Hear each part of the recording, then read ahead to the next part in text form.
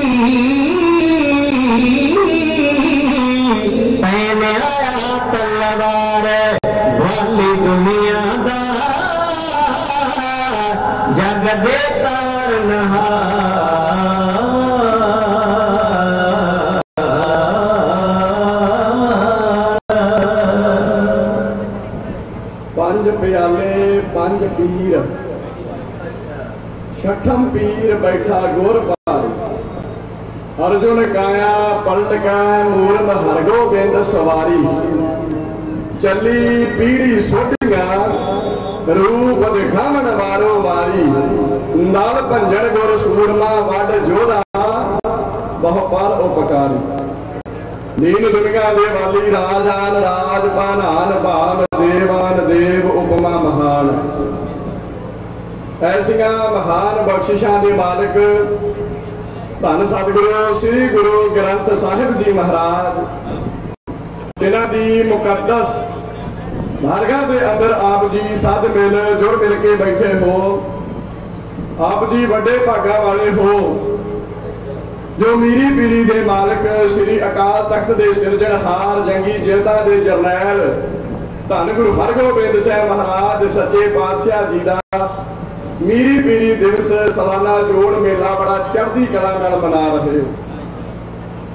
ਸਤਿਗੁਰੂ ਸਾਹਿਬ ਜੀ ਦੀ ਕਿਰਪਾ ਵਰਤੀ, ਆਪ ਜੀ ਸਮੁੱਚੀ ਗੁਰੂ ਕੀ ਸੰਗਤ ਦਾ ਜੋ ਹੁਕਮ, ਉਹ ਸਾਡੇ ਅਤੀ ਸਤਿਕਾਰਯੋਗ ਸਰਦਾਰ ਜਗਦਾਰ ਸਿੰਘ ਜੀ ਹੋਰਾਂ ਦੇ ਜਰੀਏ ਸਾਡੇ ਤੱਕ ਪਹੁੰਚਿਆ। ਲੱਗੇ ਹੋਏ ਹੁਕਮ ਨੂੰ ਸਿਰ ਮੱਥੇ ਤੇ ਮੰਨਦੇ ਹੋਏ ਜਦੋਂ ਮੈਂ ਬਚਨ ਨੂੰ ਛੱਡਦਾ ਤੇ ਪਿੱਛੋਂ ਵਿਸਲ ਵੱਜਦੀ ਆ। ਲੱਗੇ ਹੋਏ ਹੁਕਮ ਨੂੰ ਸਿਰ ਮੱਥੇ ਤੇ ਮੰਨਦਾ ਹੋਇਆ ਆਪ ਜੀ ਗੁਰੂ ਕੀ ਸੰਗਤ ਦੇ ਦਰਸ਼ਨ ਦੀਦਾਰ ਕਰਨ ਹਿੱਤ ਪਹੁੰਚੇ ਹਾਂ। ਸਤਿਗੁਰੂ ਸੱਚੇ ਪਾਤਸ਼ਾਹ ਮਹਾਰਾਜ ਜੀ ਕਿਰਪਾ ਕਰਨ। ਆਪ ਜੀ ਜਿਤਨੇ ਵੀ ਸਰੀਰ ਸਾਡੇ ਦਰਮਿਆਨ ਜੁੜ ਮਿਲ ਕਰ ਬੈਠੇ ਹੋ, ਬੜੀ ਇਕਾਗਰਤਾ ਦੇ ਨਾਲ ਆਪਾਂ ਇਸੇ ਤਰ੍ਹਾਂ ਲਿਖ ਕੇ ਬੈਠਣਾ। ਕਿਉਂਕਿ ਧੰਨ ਗੁਰੂ ਗ੍ਰੰਥ ਸਾਹਿਬ ਮਹਾਰਾਜ ਜੀ ਦਾ ਵਚਨ ਸਾਹਿਬ ਜੀ ਕਹਿੰਦੇ, ਵੱਡ ਭਾਗੀ ਹਰ ਸੰਗਤ ਪਾਵੈ ਭਾਗਹੀਨ ਭ੍ਰਮ ਝੂਟਾਂ ਖਾਵੈ। ਬਿਨ ਭਾਗਾ ਸਤ ਸੰਗ ਨਾ ਲੱਭੈ, ਬਿਨ ਸੰਗਤ ਮੈਲ ਭਰੀਜੈ ਜਿਉ। ਗੁਰੂ ਕੀ ਸੰਗਤ ਦੇ ਅੰਦਰ ਆਉਣਾ ਇਹ ਹਾਰੀ ਸਾਰੀ ਦੇ ਆਉਣ ਦੇ ਬਸ ਦੀ ਖੇਡ ਨਹੀਂ। ਇਹ ਵੱਡੇ ਭਾਗਾਂ ਦੀ ਨਿਸ਼ਾਨੀ।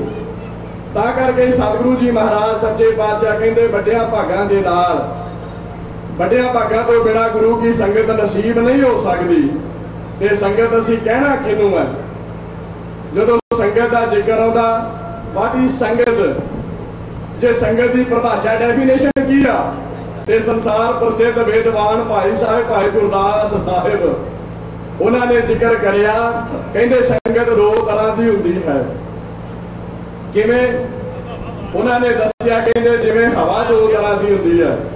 ਜਿਵੇਂ ਜਲ ਪਾਣੀ ਦੋ ਤਰ੍ਹਾਂ ਦਾ ਹੁੰਦਾ, ਜਿਵੇਂ ਅੱਗ ਦੋ ਤਰ੍ਹਾਂ ਦੀ ਹੁੰਦੀ ਹੈ, ਇਨ ਬਿਨ ਇਸੇ ਤਰ੍ਹਾਂ ਕਹਿੰਦੇ ਸੰਗਤ ਵੀ ਦੋ ਤਰ੍ਹਾਂ ਦੀ ਹੁੰਦੀ ਹੈ। ਹਵਾ ਦੋ ਤਰ੍ਹਾਂ ਦੀ ਕਿਵੇਂ ਹੋਈ? ਹਵਾ ਉਹੀ ਹੈ, ਆਸਮਾਨ ਉਹੀ ਹੈ, ਜੇ ਪੁਰੇ ਤੋਂ ਚੱਲੇ ਤੇ ਜਿੰਨੀ ਮਰਜ਼ੀ ਧੁੱਪ ਲੱਗੀ ਹੋਵੇ, ਮੀਂਹ ਪਵੇਗਾ। ਹਵਾ ਉਹੀ ਹੈ, ਜੇ ਪੱਛਮ ਵੱਲੋਂ ਚੱਲੇ, ਜਿੰਨਾ ਮਰਜ਼ੀ ਬੱਦਲ ਹੋਇਆ ਹੋਵੇ, ਕਦੇ ਮੀਂਹ ਨਹੀਂ ਪਵੇਗਾ। ਇਹ ਸਿਆਣੇ ਸਾਇੰਟੀਫਿਕ ਤੌਰ ਤੇ ਵਿਦਵਾਨਾਂ ਨੇ ਤੱਤ ਕੱਢੇ ਹੋਏ ਨੇ। ਦੂਸਰਾ ਬਚਨ ਜਲ ਪਾਣੀ, ਉਹੋ ਹੀ ਅਸੀਂ ਆਪਣੇ ਘਰ 'ਚ ਛਕਦੇ ਆ ਤੇ ਸਾਡੀ ਸਿਹਤ ਨਰੋਈ ਤੰਦਰੁਸਤ ਰਹਿੰਦੀ ਹੈ। ਪਰ ਅਸੀਂ ਮਾਨ ਨਾ ਕਰੋ ਕਿਸੇ ਯਾਤਰਾ ਤੇ ਗਏ, ਕਿਸੇ out of state out of country ਗਏ, ਉੱਥੇ ਜਲ ਪਾਣੀ ਛਕਦੇ ਆ ਜਲ ਪਾਣੀ ਉਹੋ ਹੀ ਹੈ, ਪਰ ਕਈ ਵਾਰੀ ਸਾਡੀ ਸਿਹਤ ਵਿਗੜ ਜਾਂਦੀ ਹੈ। ਜਲ ਪਾਣੀ ਦੋ ਤਰ੍ਹਾਂ ਦਾ ਹੋ ਗਿਆ।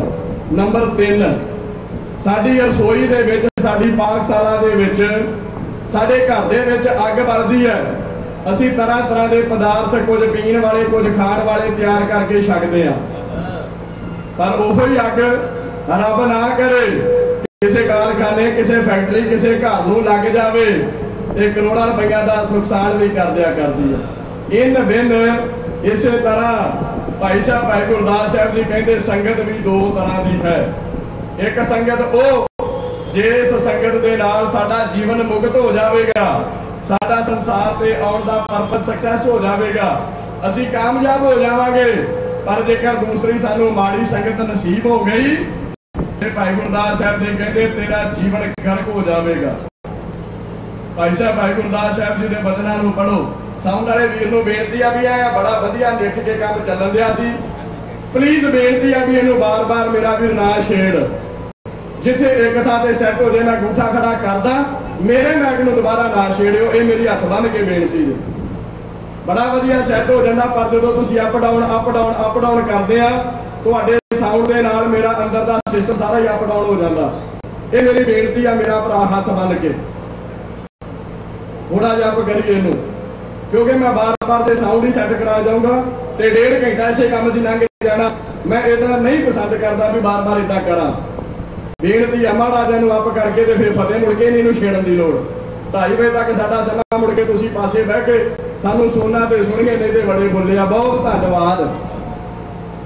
ਆਪਾਂ ਕਿੱਥੇ ਗੱਲ ਚੱਲਣ ਦੀ ਸੀ? ਸੰਗਤ ਦੀ। ਇਹ ਚੱਕਰ ਪੈ ਜਾਂਦਾ ਨਾ, ਸੁਰਤੀ ਹਿੰਡ ਜਾਂਦੀ ਤਾਂ ਹੀ ਤੇ ਸੁਖਮਨੀ ਸਾਹਿਬ ਚ ਮਹਾਰਾਜ ਨੇ ਕਿਹਾ, ਪ੍ਰਭ ਕੀ ਉਸਤਤ ਕਰੋ ਸੰਤ ਮੀਤ, ਸਾਵਧਾਨ, ਇਕਾਗਰ ਚੀਤ। ਕਹਿੰਦੇ, ਜਿੰਨਾ ਚਿਰ ਇਕਾਗਰਤਾ ਨਹੀਂ, ਉਹਨਾਂ ਚਿਰ ਖੇਡਾਂ ਚੱਲਣੀਆਂ ਨਹੀਂ। ਸੰਗਤ ਦੀ ਗੱਲ ਕਰ ਰਿਹਾ ਸਾਂ। ਦੋ ਤਰ੍ਹਾਂ ਦੀ ਸੰਗਤ, ਇੱਕ ਜੀਵਨ ਤੁਹਾਡਾ ਆਨੰਦਮਈ ਬਣਾ ਦੇਵੇਗੀ ਤੇ ਦੂਸਰੀ ਸੰਗਤ ਤੁਹਾਡਾ ਜੀਵਨ ਗਰਕ ਕਰਕੇ ਰੱਖ ਦੇਵੇ। ਭਾਈ ਸਾਹਿਬ, ਭਾਈ ਗੁਰਦਾਸ ਸਾਹਿਬ ਜੀ ਜ਼ਿਕਰ ਕਰਿਆ, ਕਹਿੰਦੇ ਕਹੂੰ ਦਸ਼ਾ ਕੇ ਪਵਨ ਗਵਨ ਕਾ ਬਰਖਾ ਹੈ, ਕਹੂੰ ਦਸ਼ਾ ਕੇ ਪਵਨ ਬਾਦਲ ਬਿਲਾਤ ਹੈ, ਕਹੂੰ ਜਲ ਸਾਡਾ ਜੀਵਨ ਆਨੰਦਮਈ ਬਣ ਜਾਵੇਗਾ। ਸਤਿਗੁਰਾਂ ਦੀਆਂ ਰਹਿਮਤਾਂ ਵਰਤੀਆਂ ਆਪ ਜੀ ਕਰੋ ਕਿਰਪਾ ਕੁਝ ਕਹਿਣ ਵਾਸਤੇ ਆਗਿਆ ਬਖਸ਼ੋ। ਬੜੇ ਪ੍ਰੇਮ ਦੇ ਸਾਹਿਤ, ਬੜੇ ਅਦਬ ਦੇ ਸਾਹਿਤ, ਦੋਵੇਂ ਹਾਦੇ ਸੀਸ ਨਿਵਾਓ। ਧੰਨ ਗੁਰੂ ਗ੍ਰੰਥ ਸਾਹਿਬ ਮਹਾਰਾਜ, ਸੱਚੇ ਪਾਤਸ਼ਾਹ ਜੀ ਨੂੰ ਫਤਿਹ ਦਾ ਜਵਾਬ ਫਤਿਹ ਵਿੱਚ ਦਿੰਦੇ ਹੋਏ ਆਖੋ, ਜੀਓ, ਵਾਹਿਗੁਰੂ ਜੀ ਕਾ ਖਾਲਸਾ, ਵਾਹਿਗੁਰੂ ਜੀ ਕੀ ਫਤਿਹ। ਆਪ ਜੀ ਦਿਹਾੜਾ ਮਨਾ ਰਹੇ ਹੋ, ਛੇਵੇਂ ਮਹਾਰਾਜ ਜੀ ਦਾ। ਤੇ ਮੈਂ ਚਾਹੁੰਦਾ ਕਿ ਸ਼੍ਰੀ ਮਹਾਰਾਜ ਜੀ ਦੇ ਜੀਵਨ ਚੋਂ ਹੀ ਆਪ ਜੀ ਨੂੰ ਕੋਈ ਪ੍ਰਸੰਗ ਸਾਂਝਾ ਕਰਵਾਵਾਂ। ਸਤਿਗੁਰੂ ਗੁਰੂ ਨਾਨਕ ਮਹਾਰਾਜ ਜੀ ਨੇ ਸਿੱਖ ਧਰਮ ਦੀ ਨੀਂਹ ਰੱਖੀ। ਗੁਰੂ ਨਾਨਕ ਮਹਾਰਾਜ ਜੀ ਦੇ ਆਗਮਨ ਤੋਂ ਸਿੱਖ ਧਰਮ ਦੀ ਬੁਨਿਆਦ ਆਰੰਭ ਹੋਈ। ਮਾਰ ਸਿੱਖਾ ਜਗਤ ਵਿੱਚ ਨਾਨਕ ਨਿਰਮਲ ਪੰਥ ਚਲਾਇਆ। ਤੇ ਨਿਰਮਲ ਮਾਨੇ ਭਗਵਿਆਂ ਵਾਲਾ ਨਹੀਂ ਟਟੀਆਂ ਵਾਲਾ ਨਹੀਂ, ਲੰਗੋਟੀਆਂ ਵਾਲਾ ਨਹੀਂ ਧੂਣਿਆਂ ਵਾਲਾ ਨਿਰਮਲ ਦਾ ਬਾਣੇ ਇੱਕ ਨਵੇਕਲਾ ਪੰਥ, ਇੱਕ ਵਿਲੱਖਣ ਪੰਥ, ਉਹ ਨਵੇਕਲਾ, ਉਹ ਵਿਲੱਖਣ ਪੰਥ ਜਿਸ ਪੰਥ ਦੀ ਰਹਿਣੀ ਕਹਿਣੀ ਸਹਿਣੀ ਜਿਸ ਪੰਥ ਦਾ ਬਾਣਾ ਅਲੈਦਾ ਜਿਸ ਪੰਥ ਦਾ ਬੋਲ ਅਲੱਗਾ ਜਿਸ ਪੰਥ ਦੀ ਦਿੱਖ ਅਲੱਗਾ ਜਿਸ ਪੰਥ ਦਾ ਪੰਥ ਤੇ ਜਿਸ ਪੰਥ ਦਾ ਗ੍ਰੰਥ ਅਲੈਦਾ। ਗੁਰੂ ਨਾਨਕ ਮਹਾਰਾਜ ਜੀ ਨੇ ਸਿੱਖ ਧਰਮ ਦੀ ਨਹੀਂ ਰੱਖੀ, ਸਮਾਂ ਆਪਣੀ ਚਾਲ ਤੇ ਚੱਲਿਆ। ਧੰਨ ਗੁਰੂ ਅਰਜਨ ਸਾਹਿਬ ਮਹਾਰਾਜ ਜੀ ਦੀ ਸ਼ਹਾਦਤ ਹੋਈ। ਤੇ ਅੰਗਰੇਜ਼ ਰਾਈਟਰ ਡਾਕਟਰ ਮੈਕਾਲਿਫ, ਉਹਨੇ ਚੱਕੀ ਕਲਮ ਤੇ ਅੰਗਰੇਜ਼ੀ ਦੀਆਂ ਚਾਰ ਸਤਰਾਂ ਵਿੱਚ ਕਹਿ ਦਿੱਤਾ, ਕਹਿੰਦਾ ਜੀ great turning point after death of Guru Arjan Sahib. Because he death is not normal death ਕਹਿੰਦਾ ਗੁਰੂ ਅਰਜਨ ਸਾਹਿਬ ਦੀ ਸ਼ਹਾਦਤ ਹੋਈ ਤੇ ਸਿੱਖੀ ਦੇ ਅੰਦਰ ਇੱਕ ਨਵਾਂ ਮੋੜ ਆਇਆ। ਉਹਦਾ ਕਾਰਨ ਇਹ ਸੀ ਕਿ ਗੁਰੂ ਅਰਜਨ ਸਾਹਿਬ ਦੀ ਸ਼ਹਾਦਤ ਕੋਈ ਆਮ ਸ਼ਹਾਦਤ ਨਹੀਂ। ਫਿਰ ਨਵਾਂ ਮੋੜ ਕੀ ਆਇਆ? ਸ੍ਰੀ ਅਕਾਲ ਤਖਤ ਸਾਹਿਬ ਦੀ ਸਿਰਜਣਾ। ਪੀਰੀ ਪੀਰੀ ਦੀਆਂ ਤਲਵਾਰਾਂ ਧਾਰਨ ਕਰਨੀਆਂ, ਢਾਡੀ ਸਿੰਘ ਕਵੀਸ਼ਰ ਸਿੰਘਾਂ ਦਾ ਸਤਿਕਾਰ ਕਰਨਾ, ਗੁਰੂ ਕੇ ਬੁਲਾਰਿਆਂ ਦਾ, ਗੁਰੂ ਕੇ ਗ੍ਰੰਥੀਆਂ ਦਾ ਸਤਿਕਾਰ ਕਰਨਾ। ਤੇ ਛੇਵੇਂ ਮਹਾਰਾਜ ਸ੍ਰੀ ਅਕਾਲ ਤਖਤ ਸਾਹਿਬ ਤੇ ਹੁਣ ਬਰਾਜਮਾਨ ਹੁੰਦੇ ਨੇ। ਉਹ ਕਸ਼ਮੀਰ ਦੇ ਇਲਾਕੇ ਦੇ ਵਿੱਚ ਸਾਰੀ ਸੰਗਤ ਕਤਰਤਾਈ ਕਰਕੇ ਜੋੜ ਕੇ ਹੱਥ ਹਾਜ਼ਰ ਨਾਜ਼ਰ ਜਾਣ ਕੇ ਛੇਵੇਂ ਮਹਾਰਾਜ ਜੀ ਦੇ ਚਰਨਾਂ ਵਿੱਚ ਅਰਦਾਸਾ ਸੋਧਿਆ। ਮਹਾਰਾਜ ਜੀਓ, ਆਪ ਜੀ ਕਿਰਪਾ ਕਰੋ, ਸਾਡੀ ਸਾਲਾਨਾ ਆਮਦਨ ਵਿੱਚ ਵਾਧਾ ਕਰੋ। ਅਸੀਂ ਸਾਲਾਨਾ ਆਮਦਨ ਦੇ ਵਿੱਚੋਂ ਮਹਾਰਾਜ ਸੱਚੇ ਪਾਤਸ਼ਾਹ ਜੀਓ, ਆਪ ਜੀ ਦੇ ਦਸਵੰਧ ਭੇਟਾ ਕੁਝ ਕਰਨਾ ਚਾਹੁੰਦੇ ਆ ਮਹਾਰਾਜ ਜੀ, ਅਸੀਂ ਦਸਵੰਧ ਦੀ ਕਮਾਈ ਦੇ ਨਾਲ ਆਪ ਜੀ ਦੇ ਚਰਨਾਂ ਵਿੱਚ ਮਹਾਰਾਜ ਜੀ ਕੋਈ ਭੇਟਾ ਭੇਟ ਕਰਨੀ ਚਾਹੁੰਦੇ ਆ ਸਾਧੂਆਂ ਦੀ ਕਲਾ ਵਰਦੀ ਰਹਿਮਤਾਂ ਵਰਤੀਆਂ, ਗੁਰੂ ਕੀ ਸਿੱਖ ਸੰਗਤ ਦੀ ਆਮਦਨ ਦੇ ਵਿੱਚੋਂ ਉਹਨਾਂ ਸਮਿਆਂ ਦਾ ਜਿਹੜਾ ਉਹ ਬਣਿਆ ਜੀ 2.5 ਲੱਖ ਰੁਪਈਆ। ਉਹਨਾਂ ਸਮਿਆਂ ਦਾ 2.5 ਲੱਖ ਰੁਪਈਆ ਬਣਿਆ। ਕਸ਼ਮੀਰ ਦੀ ਸੰਗਤ ਨੇ ਹੁਣ ਤਿੰਨ ਦਿਸ਼ਾਲੇ ਤਿਆਰ ਕਰਵਾਏ ਨੇ। ਦੋਸ਼ਾਲਾ ਕੀ ਹੁੰਦਾ? ਸ਼ਾਬਦੀ ਅਰਥਾਂ ਦਾ ਸਾਨੂੰ ਪਤਾ ਹੋਣਾ ਚਾਹੀਦਾ। ਦੋਸ਼ਾਲਾ, ਜਦੋਂ ਅਸੀਂ ਕੋਈ ਸਿਆਰ ਦੇ ਵਿੱਚ ਆਪਣੇ ਜੁੱਸੇ ਤੇ ਕੱਪੜਾ ਓੜਦੇ ਆ ਠੰਡ ਤੋਂ ਬਚਣ ਵਾਸਤੇ, ਤੇ ਅਸੀਂ ਉਹਨੂੰ ਕਹਿੰਦੇ ਆ ਸ਼ਾਲ ਉਹ ਦੋ ਸ਼ਾਲਾਂ ਨੂੰ ਜੋੜ ਕੇ ਸੁਮੇਲ ਦੇ ਨਾਲ ਇੱਕ ਨਿੱਘਾ ਬਸਤਰ ਤਿਆਰ ਕੀਤਾ ਹੋਵੇ, ਉਹਨੂੰ ਕਿਹਾ ਜਾਂਦਾ ਦੋ ਸ਼ਾਲਾ ਉਹ ਦੋ ਸ਼ਾਲਾ ਕੋਈ ਆਮ ਦੋ ਸ਼ਾਲਾ ਨਹੀਂ। ਸੋਨੇ ਦੀਆਂ ਤਾਰਾਂ ਦੀ ਕਢਾਈ ਹੋਈ ਹੋਵੇ, ਜਿਹਦਾ ਬਰ ਬੜਾ ਦਰਸ਼ਨੀ ਹੋਵੇ, ਜਿਹਦੀ ਕਢਾਈ ਬੜੀ ਦਰਸ਼ਨੀ ਹੋਵੇ, ਜੇ ਇਸ ਦੋਸ਼ਾਲੇ ਦਾ ਕਪੜਾ ਬੜਾ ਦਰਸ਼ਨੀ ਹੋਵੇ, ਉਹਨੂੰ ਕਿਹਾ ਜਾਂਦਾ ਜੀ ਦੋਸ਼ਾਲਾ ਤੇ ਨਾਲੇ ਸੰਗਤ ਨੇ ਤੇ ਇਹ ਦੋਸ਼ਾਲੇ ਭੇਟ ਕਰ ਛੇਵੇਂ ਮਹਾਰਾਜ ਜੀ ਨੂੰ। ਕਸ਼ਮੀਰ ਦੀ ਸੰਗਤ ਹੁਣ ਪੁਰੀ ਕਸ਼ਮੀਰ ਤੋਂ। ਸ੍ਰੀ ਅਕਾਲ ਤਖਤ ਸਾਹਿਬ ਤੇ ਆਏ। ਪਤਾ ਲੱਗਾ, ਛੇਵੇਂ ਮਹਾਰਾਜ ਜੀ ਸਰੀਰ ਕਰਕੇ ਇੱਥੇ ਮੌਜੂਦ ਨਹੀਂ ਛੇਵੇਂ ਮਹਾਰਾਜ ਜੀ ਕਿਸੇ ਨੇ? ਮਾਲਵੇ ਦੇ ਇਲਾਕੇ ਵਿੱਚ ਛੇਵੇਂ ਮਹਾਰਾਜ ਭਾਈ ਕੀ ਡਰੋਲੀ ਸੱਜੇ ਬੈਠੇ ਨੇ। ਹੁਣ ਸੰਗਤ ਰਸਤੇ ਦੇ ਵਰਤਨ ਕਰਦੀ ਹੋਈ ਬੜੇ ਆਨੰਦ ਦੇ ਸਹਿਤ ਛੇਵੇਂ ਮਹਾਰਾਜ ਦੇ ਵੱਲ ਨੂੰ ਵੱਧਦੀ ਜਾ ਰਹੀ ਹੈ। ਤੇ ਜਦੋਂ ਪੱਟੀ ਨਜ਼ਦੀਕ ਆਏ ਨਿੱਕੀ ਨਿੱਕੀ ਬਾਰਿਸ਼ ਨਿੱਕੀ ਨਿੱਕੀ ਰਹਿੰਦਾ ਮੀਂਹ ਪੈਣਾ ਸ਼ੁਰੂ ਹੋ ਗਿਆ। ਜਿਹੜੇ ਦੋਸ਼ਾਲੇ ਨੇ, ਉਹ ਸਿੱਲੇ ਹੋ ਗਏ ਮੀਂਹ ਦੇ ਕਾਰਨ ਤੇ ਸਿਆਣੇ ਸੂਝਵਾਨ ਪੁਰਸ਼ੇ ਗੁਰਮਤਾ ਕੀਤਾ ਕਿਉਂ ਨਾ ਪੱਟੀ ਦੇ ਵਿੱਚ ਆਪਾਂ ਕੁਝ ਸਮਾਂ ਪੜਾ ਕਰੀਏ, ਕੁਝ ਸਮਾਂ ਡਰ ਕੱਟਦੇ ਨਾਲੇ ਇਹਨਾਂ ਦੋਸ਼ਾਲਿਆਂ ਦੀ ਜਿਹੜੀ ਸਿੱਲ ਕੱਢਣ ਵਾਸਤੇ ਥੋੜਾ ਸਮਾਂ ਇਹਨਾਂ ਨੂੰ ਧੁੱਪ ਲਵਾ ਦਵਾਂਗੇ। ਇਦਾਂ ਹੀ ਕੀਤਾ, ਤਿੰਨ ਦੋਸ਼ਾਲੇ ਸਨ। ਤਿੰਨਾਂ ਦੇ ਵਿੱਚੋਂ ਸਭ ਤੋਂ ਉੱਪਰਲਾ ਤੇ ਸਭ ਤੋਂ ਹੇਠਲਾ ਜਿਹੜੇ ਦੋ ਦਸ਼ਾਲੇ ਉਹ ਪੱਟੀ ਦੇ ਬਦਾਮੀ ਬਾਗ ਵਿੱਚ ਸੁੱਕਣੇ ਪਾ ਦਿੱਤੇ। ਜਿਹੜਾ ਵਿਚਲਾ ਦਸ਼ਾਲਾ ਉਹਨੂੰ ਸਿੱਲ ਨਾ ਵੱਜੀ ਹੋਣ ਕਰਕੇ ਉਹਨੂੰ ਪਾਸੇ ਤੇ ਪਿਆ ਰਹਿਣ ਦਿੱਤਾ ਤੈਅ ਲਾ ਕੇ ਪਾਸੇ ਰੱਖਿਆ। ਤੇ ਹੁਣ ਆਪ ਗੁਰੂ ਕੇ ਜਿਹੜੇ ਸਿੱਖ ਨੇ, ਉਹ ਪੜਾ ਕਰ ਰਹੇ ਨੇ। ਕੁਝ ਥਕਾਨ ਨੂੰ ਦੂਰ ਕਰਨ ਵਾਸਤੇ ਲੰਮਾ ਪਏ ਨੇ, ਕੁਝ ਇਧਰ ਉਧਰ ਆਪਣੀ ਸਰੀਰਕ ਕਿਰਿਆ ਵਾਸਤੇ ਨਿਕਲੇ। ਤੇ ਇਸ ਪੱਟੀ ਦੇ ਬਦਾਮੀ ਬਾਗ ਵਿੱਚ, ਪੱਟੀ ਦੇ ਮਿਰਜ਼ੇ ਹੰਕਾਰ ਦੇ ਵਿੱਚ ਭਰੇ ਹੋਏ ਆਏ। ਉਹਨਾਂ ਦੀ ਆ ਕੇ ਨਜ਼ਰ ਪਈ, ਗੁਰੂ ਕੇ ਸਿੱਖਾਂ ਦੀ ਆਂਦੀ ਹੋਈ ਭੇਟ ਦੋਸ਼ਾਲਿਆਂ ਦੇ ਉੱਪਰ। ਤੇ ਜਦੋਂ ਕੋਈ ਕੂੜ ਨੀਤੀ ਵਾਲਾ ਬੰਦਾ ਆਪਣੀ ਮਿਹਨਤ, ਆਪਣੀ ਸੇਵਾ ਭਾਵਨਾ ਦੇ ਸਦਕੇ ਕੋਈ ਕੀਮਤੀ ਵਸਤੂ ਪ੍ਰਾਪਤ ਨਾ ਕਰ ਸਕਦਾ ਹੋਵੇ, ਤੇ ਉਹਦਾ ਫਿਰ ਰਵਈਆ ਇਦਾਂ ਦਾ ਹੁੰਦਾ ਖੋ ਮਾਈ ਕਰਕੇ ਇਹ ਤਰੀਕੇ, ਇਹ ਵਸਤੂ ਹਾਸਲ ਕੀਤੀ ਜਾਵੇ। ਇਹ ਆ ਕੇ ਕਹਿਣ ਲੱਗਾ, ਸਿੱਖਾਂ ਨੂੰ ਕਹਿੰਦਾ, ਸਿੱਖੜਿਓ ਉਹ ਆ ਜਿਹੜੇ ਦਸ਼ਾਲੇ ਤੁਸਾਂ ਵੇਚਣੇ ਆ ਤੇ ਸੰਗਤ ਨੇ ਹੱਥ ਜੋੜੇ, ਨਾ ਭਾਈ, ਇਹ ਮਹਾਰਾਜ ਸੱਚੇ ਪਾਤਸ਼ਾਹ ਦੀ ਅਮਾਨਤ ਆ। ਇਹ ਸਤਿਗੁਰਾਂ ਨੂੰ ਭੇਟ ਕਰਨੇ ਨੇ। ਜਿਹੜੇ ਪਤੀ ਦੇ ਮਿਰਜੇ ਹੰਕਾਰ ਨਾਲ ਕਹਿੰਦੇ, ਜੇ ਤੇ ਘੇ ਕੱਢ ਲੈਣ ਦਿਓ ਸਿੱਧੀ ਨਾਲ। ਗੱਲ ਜੇ ਚੰਗੀ, ਨਹੀਂ ਤੇ ਅਸੀਂ ਉਂਗਲ ਇਹਦੀ ਕਰਨੀ ਜਾਣਦੇ ਆ। ਮੁੱਕਦੀ ਗੱਲ, ਇਹਨਾਂ ਗੁਰੂ ਕੇ ਸਿੱਖਾਂ ਦੇ ਕੋਲੋਂ ਉਹਨੇ ਦਸ਼ਾਲੇ ਖੋਇਆ ਤੇ ਗੁਰੂ ਦੇ ਸਿੱਖਾਂ ਨੇ ਪੱਟੀ ਦੇ ਬਦਾਮੀ ਬਾਗ ਚੋਂ ਧੱਕੇ ਮਾਰ ਕੇ ਕੱਢ ਦਿੱਤਾ। ਹੁਣ ਸੰਗਤ ਦੇ ਹਿਰਦੇ ਬਲੂੰਦਰੇ ਗਏ। ਸੰਗਤ ਦੇ ਅਰਮਾਨਾਂ ਤੇ ਪਾਣੀ ਫਿਰ ਗਿਆ। ਇਹਨਾਂ ਦੀਆਂ ਭਾਵਨਾਵਾਂ ਚੂਰ ਹੋਈਆਂ। ਇਹਨਾਂ ਦੇ ਅੰਦਰ ਰੋ ਰਹੇ ਨੇ। ਭਿੱਜੇ ਹੋਏ ਨੇਤਰਾਂ ਦੇ ਨਾਲ ਇਹ ਪਹੁੰਚੇ ਛੇਵੇਂ ਮਹਾਰਾਜ ਜੀ ਦੇ ਕੋਲ। ਸੱਚੇ ਪਾਤਸ਼ਾਹ ਦੇ ਕੋਲ ਪਹੁੰਚੇ। ਉਹ ਜਿਹੜਾ ਇੱਕ ਸੁੱਕਾ ਦੁਸ਼ਾਲਾ ਉਹ ਸਤਿਗੁਰਾਂ ਦੇ ਚਰਨਾਂ ਤੇ ਰਿਹਾ ਤੇ ਇਹਨਾਂ ਗੁਰੂ ਦੀਆਂ ਸੰਗਤਾਂ ਦੇ ਨੇਤਰਾਂ ਚੋਂ ਜਲਦੀਆਂ ਝੜੀਆਂ ਵਹਿ ਤੁਰੀਆਂ। ਸਾਹਮਣੇ ਬੈਠੇ ਨੇ ਛੇਵੇਂ ਮਹਾਰਾਜ ਗੁਰੂ ਹਰਗੋਬਿੰਦ ਸਾਹਿਬ, ਸੋਹਣਿਆਂ ਦੇ ਸੁਲਤਾਨ, ਬਰਕਤਾਂ ਦੇ ਦਾਤੇ, ਰਹਿਮਤਾਂ ਦੇ ਸਾਗਰ, ਗਿਆਨ ਦਾ ਮੁਜਸਮਾ, ਵੀਰ ਰਸੀ ਦੀ ਹੱਦ। ਗੁਰੂ ਹਰਗੋਬਿੰਦ ਸਾਹਿਬ ਮਹਾਰਾਜ, ਇਹਨਾਂ ਦੇ ਚਿਹਰੇ, ਇਹਨਾਂ ਦੇ ਨੇਤਰਾਂ ਨੂੰ ਪੜ੍ਹਦਿਆਂ ਹੋਇਆਂ ਮਹਾਰਾਜ ਸੱਚੇ ਜੀ ਨੂੰ ਪੁੱਛਦੇ ਨੇ। ਕਹਿੰਦੇ, ਸਿੱਖੋ ਉਹ ਤੁਹਾਡੇ ਮੁਰਝਾਏ ਹੋਏ ਚਿਹਰਿਆਂ ਦਾ ਕਾਰਨ ਇਹ ਗੁਰੂ ਨਾਨਕ ਸਾਹਿਬ ਦਾ ਘਰ ਤੇ ਐਸਾ ਇੱਥੇ ਤੇ ਮੋਇਆਂ ਤੇ ਜਾਨ ਪੈਂਦੀ, ਇੱਥੇ ਤੇ ਮੁਰਝਾਏ ਫੁੱਲ ਖੇ ਉੱਠਦੇ, ਇੱਥੇ ਤੇ ਬੁਝੇ ਦੀਪਕ ਜਾਗ ਪੈਂਦੇ ਨੇ, ਕਿਉਂਕਿ ਸਤਿਗੁਰੂ ਗੁਰੂ ਨਾਨਕ ਮਹਾਰਾਜ ਜੀ ਦਾ ਘਰ ਹੈ। ਵੱਡਾ ਤੇਰਾ ਦਰਬਾਰ, ਸੱਚਾ ਤੋਦ ਤਖਤ ਸਿਰ ਸ਼ਾਹ ਪਾਤਸ਼ਾਹ, ਨਿਹਚਲ ਚੌਰ ਛੜ ਵੱਡੀ ਨੂੰ ਵੱਡਾ ਪਾਰ ਤੇਰਾ ਮਰਤਬਾ ਰੰਗ ਬਰੰਗ ਅਨੇਕ ਨਜਾਪਰ ਕਰਤਬਾ ਜੀਆਂ ਅੰਦਰ ਜਿਉ ਸਭ ਕਿਛ ਜਾਣਦਾ ਸਭ ਕਿਛ ਤੇਰਾ ਵਸ। ਤੇਰਾ ਕਰ ਭਲਾ। ਮਾਰਾ ਕਹਿੰਦੇ ਤੇ ਵੱਡਾ ਘਰ ਆ ਤੇ ਤੁਹਾਡੇ ਮੁਰਝਾਏ ਹੋਏ ਚਿਹਰਿਆਂ ਦਾ ਕਾਰਨ ਸਤਿਗੁਰੂ, ਗੁਰੂ ਹਰਗੋਬਿੰਦ ਸਾਹਿਬ ਮਹਾਰਾਜ ਜੀ ਪੁੱਛ ਰਹੇ ਨੇ। ਇਹਨਾਂ ਸਾਰੀਆਂ ਸੰਗਤਾਂ ਨੇ ਜੋੜੇ ਹੱਥ, ਰੋਂਦੇ ਹੋਏ ਨੇਤਰ, ਰੋਂਦੇ ਹੋਏ ਹਿਰਦਿਆਂ ਦੇ ਨਾਲ ਜਿਹੜੀ ਸਾਰੀ ਵਾਰਤਾ ਛੇਵੇਂ ਮਹਾਰਾਜ ਗੁਰੂ ਹਰਗੋਬਿੰਦ ਸਾਹਿਬ ਜੀ ਨੂੰ ਸੁਣਾ ਰਹੇ ਨੇ। ਉਹ ਸਮੇਂ ਦਾ ਵੇਰਵਾ ਯਾਨੀ ਗੁਰਕੀਰਤ ਸਿੰਘ ਐਮਏ ਦੇ ਸਾਥੀਆਂ ਪਾਸੋਂ ਇਦਾਂ ਸੁਣੋ। ਮੱਥਾ ਟੇਕ ਕੇ ਸੰਗਤ ਕਸ਼ਮੀਰ ਦੀ ਛੜੀ ਅੱਖੀਆਂ ਚਲਾਉਣ ਲੱਗੀ ਨੀਰ ਦੀ ਗੱਲ ਵੈਰੀਆਂ ਨੇ ਕਰਤੀ ਅਖੀਰ ਦੀ। ਹੋਲੀ ਦਾ ਕਦੀ ਗਲੇ 'ਚ ਸਾਡੇ ਦਿਲ ਫੱਟੀ ਦੇ, ਅਸੀਂ ਲੁੱਟੇ ਗਏ ਗੁਰੂ ਜੀ ਵਿੱਚ ਆ ਕੇ ਫੱਟੀ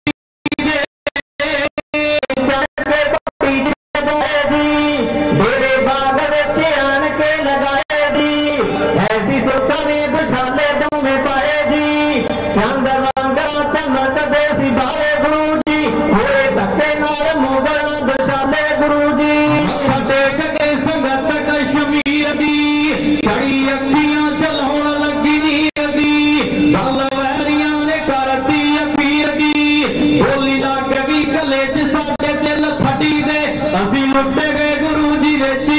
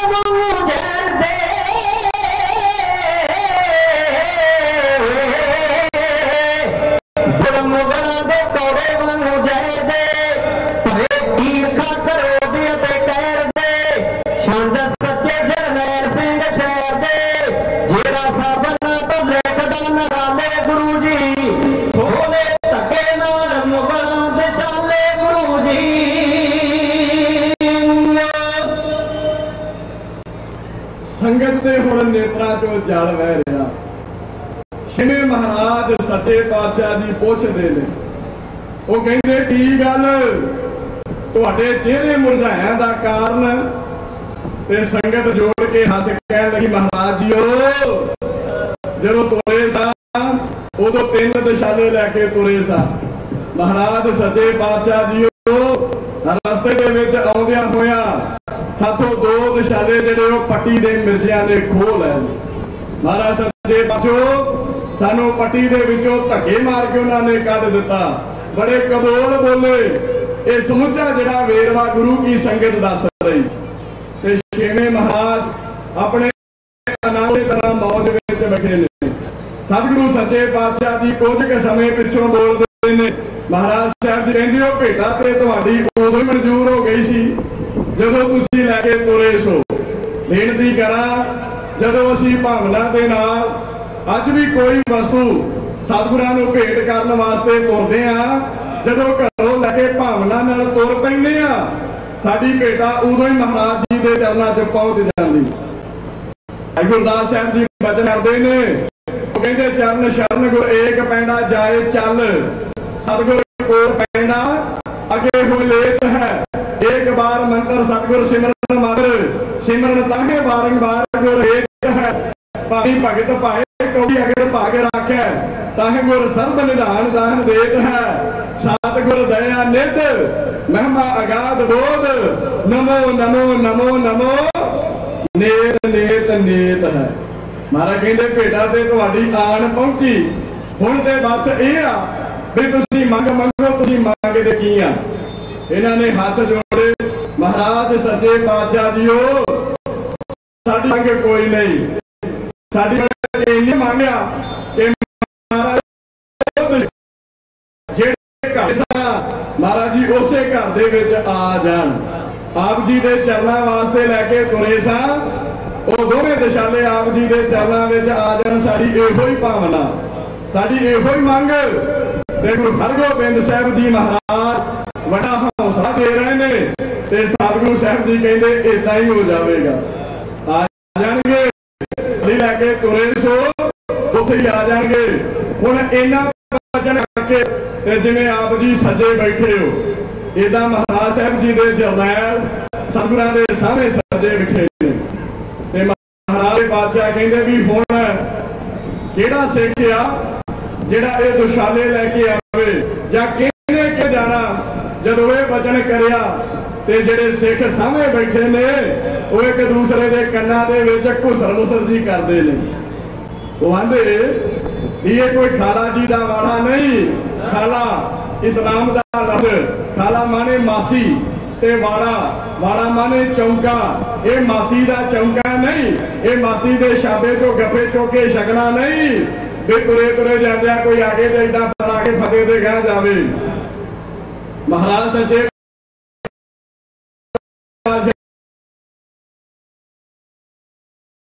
ਇਸ ਘੋੜੇ ਬੜੇ ਚਾਹੀਦੇ ਆ, ਸਿੱਖ ਸੇਵਕ ਬਣੇ ਚਾਹੀਦੇ ਆ। ਇਹ ਕੰਮ ਕੋਈ ਸੁਖੈਨ ਕਰਨ ਵਾਲਾ ਨਹੀਂ। ਤੇ ਜਦੋਂ ਗੱਲਾਂ ਬਾਤਾਂ ਚੱਲ ਰਹੀਆਂ ਤੇ ਉਹਨਾਂ ਜਰਨੈਲਾਂ ਦੀ ਘੁਸਰ ਮੁਸਰ ਨੂੰ ਸੁਣਦਿਆਂ ਹੋਇਆਂ, ਮਹਿਸੂਸ ਕਰਦਿਆਂ ਹੋਇਆ ਕੋਲ ਹੀ ਬੈਠੇ ਨੇ। ਕੌਣ? ਵਿਧੀਆਂ ਦੇ ਜਰਨੈਲ, ਵਿਧੀਆਂ ਦੇ ਜਾਣੂ, ਵਿਧੀਆਂ ਦੇ ਬਹਾਦਰ, ਵਿਧੀਆਂ ਦੇ ਮਾਰ। ਧੰਨ ਬਹਾਦਰ ਬਾਬਾ ਵਿਧੀ ਚੰਦ ਸਾਹਿਬ। ਐਦਾਂ ਕਰਕੇ ਜੋੜ ਕੇ ਹੱਥ ਹੱਥ ਦਾ ਬੁੱਕ ਖੋਲ ਕੇ ਸੱਜੇ ਹੱਥ ਦੇ ਪੋਟਿਆਂ ਦਾ ਖੱਬੀ ਤਲੀ ਦੇ ਮਾੜਾ ਜਿਹਾ ਖੁਰਕਿਆ। ਇਹ ਖੁਰਕ ਦਾ ਵੱਡਾ ਕਾਰਨ ਆ। ਬਜ਼ੁਰਗਾਂ ਦਾ ਕਥਨ ਆ, ਉਹ ਆਂਦੇ ਵੀ ਜੇ ਕਿਸੇ ਦੀ ਖੱਬੀ ਤਲੀ ਤੇ ਖੁਰਕ ਹੋਵੇ, ਤੇ ਫਿਰ ਕਿਸੇ ਨਾ ਕਿਸੇ ਸ਼ੇਰ ਬਣ ਜਾਂਦਾ, ਕਿਸੇ ਦਾ ਹੱਥ ਹੌਲਾ ਹੋ ਜਾਂਦਾ, ਇਹ ਵੀ ਛਤਰ ਪੌਲਾ ਡਾਂਗ ਸੋਟਾ। ਤੇ ਜੇ ਕਿਤੇ ਸੱਜੀ ਤੇ ਹੋਵੇ, ਫਿਰ ਆਂਦੇ ਆ ਜੀ ਲక్ష్ਮੀ ਉਤਰਦੀ ਆ। ਫਿਰ ਮਾਇਆ ਦੀ ਖਤਮੇ ਵਾਲ ਭੰਨ ਕੇ, ਤੇ ਜੇ ਖੱਬੀ ਤੇ ਹੋਦੀ ਤਾਂ ਫਿਰ ਕਿਸੇ ਵਾਲੀ ਆਈ ਹੋਈ ਵੀ ਚਲੇ ਜਾਂਦੀ ਆ। ਕਿਉਂਕਿ ਜਦੋਂ ਡਾਂਗ ਸੋਟਾ ਖੜਕ ਜਾਣਾ ਛੱਬੀਆਂ ਬਣ ਜਾਣੀਆਂ ਉਹ ਜਿਹੜੇ ਚਾਰ ਬੋਝ ਝੋਣੇ, ਉਹ ਵੀ ਲੱਗ ਜਾਣੇ, ਖੱਬੀ ਦੇ ਨਾ ਕਿਸੇ ਦੀ ਤੇ ਹੋਵੇ। ਸੱਜੀਏ ਭਾਵੇਂ ਸਵੇਰ ਤੋਂ ਲੈ ਕੇ ਸ਼ਾਮਾਂ ਤੱਕ ਹੁੰਦੀ ਰਵੇ। ਖਬਰੇ ਲక్ష్ਮੀ ਉਤਰਦੀ ਰਵੇ। ਤੇ ਬਾਬਾ ਵਿਧੀ ਚੰਦ ਸਾਹਿਬ ਨੇ ਫਿਰ ਖੱਬੀ ਤਲੀ ਨੇ ਮਾੜਾ ਜਿਹਾ ਐਂ ਖੁਰ ਗਿਆ। ਤੇ ਹੱਥ ਜੋੜੇ, ਮਹਾਰਾਜ ਜੀ, ਇਹ ਕਿੱਡੀ ਕਾ ਖੇਡ ਆ। ਜੇ ਤੇ ਕਰੋ ਕਿਰਪਾ, ਮੇਰੀ ਕੰਡ ਤੇ ਦਵੋ ਥਾਪੜਾ। ਤੇ ਮਹਾਰਾਜ ਸੱਚੇ ਪਾਤਸ਼ਾਹ ਥਾਪੜਾ ਦਿਓ, ਉਹ ਜਾਂ ਧੰਨ ਗੁਰੂ ਗ੍ਰੰਥ ਸਾਹਿਬ ਮਹਾਰਾਜ ਤੇ ਦਿੱਤਾ ਦੇ ਜਿਹੜਾ ਥਾਪੜਾ ਹੋ ਗੋਸਾਈ ਦਾ ਪਹਿਲਵਾਨ ਦਾ ਮੈਂ ਗੁਰਮੇਲ ਉੱਚ ਤੋਂ ਮੰਨਦਾ, ਸਭ ਹੋਈ ਚਿੰਨ ਤੇ ਜਾ। ਜੋ ਬੈਠਾ ਵੇਖੇ ਆਪ ਜਿਉ, ਬਾਤ ਵਜਨ ਟਮਕ ਭੇਰੀਆਂ, ਮਨ ਰੱਥੇ ਲੈਂਦੇ ਫੇਰੀਆਂ।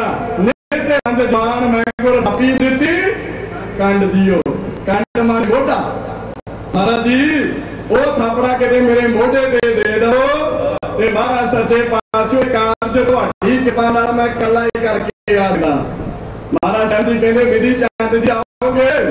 ਮਹਾਰਾਜ ਸੱਚੇ ਪਾਤਸ਼ਾਹ, ਕਾਠ ਕੀ ਪੁੱਤਰੀ? ਕਹਾਂ ਕਰੈ ਬਪੋਰੀ? ਕਿਆਵਨ ਹਾਰੋ ਜਾਣੈ, ਜੈਸਾ ਭੇਖ ਕਰਾਵੇ ਬਾਜ਼ੀਗਰ, ਉਹ ਤੈਸੋ ਹੀ ਸਾਜ ਆਨੈ। ਮਹਾਰਾਜ ਜੀ, ਮੈਂ ਕੁਝ ਨਹੀਂ ਕਰਨਾ। ਇਹ ਰਹਿਮਤਾਂ ਵਰਦੀਆਂ ਗੁਰੂ ਹਰਗੋਬਿੰਦ ਸਿੰਘ ਮਹਾਰਾਜ ਜੀ ਆਪ ਜੀ ਦੀਆਂ। ਮਹਾਰਾਜ ਸੱਚੇ ਪਾਤਸ਼ਾਹ, ਤੁਹਾਡੀਆਂ ਅਸੀਸਾਂ ਤੁਹਾਡੀਆਂ ਰਹਿਮਤਾਂ ਵਰਤਣੀਆਂ। ਆਪ ਜੀ ਕਿਰਪਾ ਕਰੋ ਗਿਆ ਦੇ ਕੇ ਥਾਪੜਾ ਦੇ ਕੇ ਮਹਾਰਾਜ ਸੇ ਪਾਤਸ਼ਾਹ ਮੈਨੂੰ ਤੋਰ ਦਵੋ।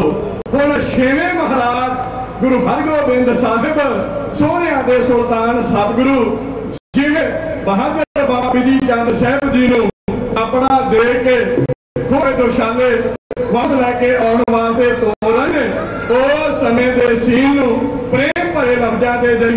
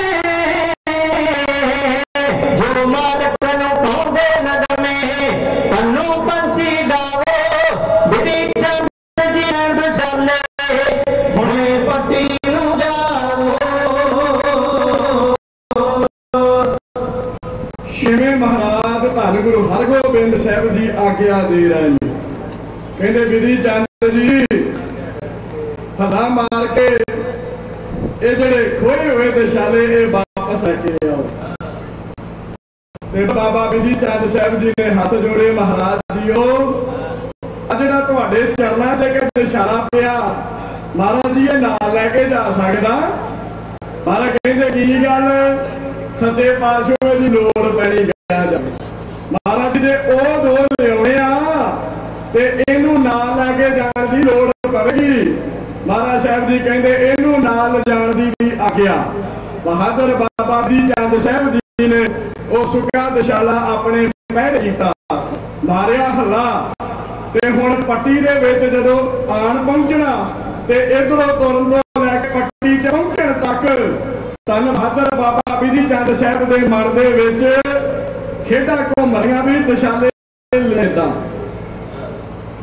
ਕਿਉਂਕਿ ਜਿਹੜੀ ਵਸਤੂ ਲੈ ਕੇ ਆਉਣੀ ਆ, ਉਹਦੇ ਵਾਸਤੇ ਸਭ ਤੋਂ ਪਹਿਲੀ ਗੱਲ ਇਹ ਹੈ ਉਹਦਾ ਭੇਤ ਹੋਣਾ ਚਾਹੀਦਾ ਵੀ ਉਹ ਹੈ ਕਿੱਥੇ, ਉਹ ਕਿਹਦੇ ਅੰਡਰ, ਉਹ ਆਵੇ ਕਿੱਦਾਂ, ਉਹਨੂੰ ਲਿਜਾਣਾ ਕਿੱਦਾਂ, ਉਹਦੀ ਜੁਗਲ ਉਹਦਾ ਸਾਰਾ ਪਹਿਰਾ ਬਹਾਦਰ ਬਾਬਾ ਬਿਧੀ ਚੰਦ ਸਾਹਿਬ ਦੇ ਮਾਈਂਡ 'ਚ ਘੁੰਮ ਰਿਹਾ।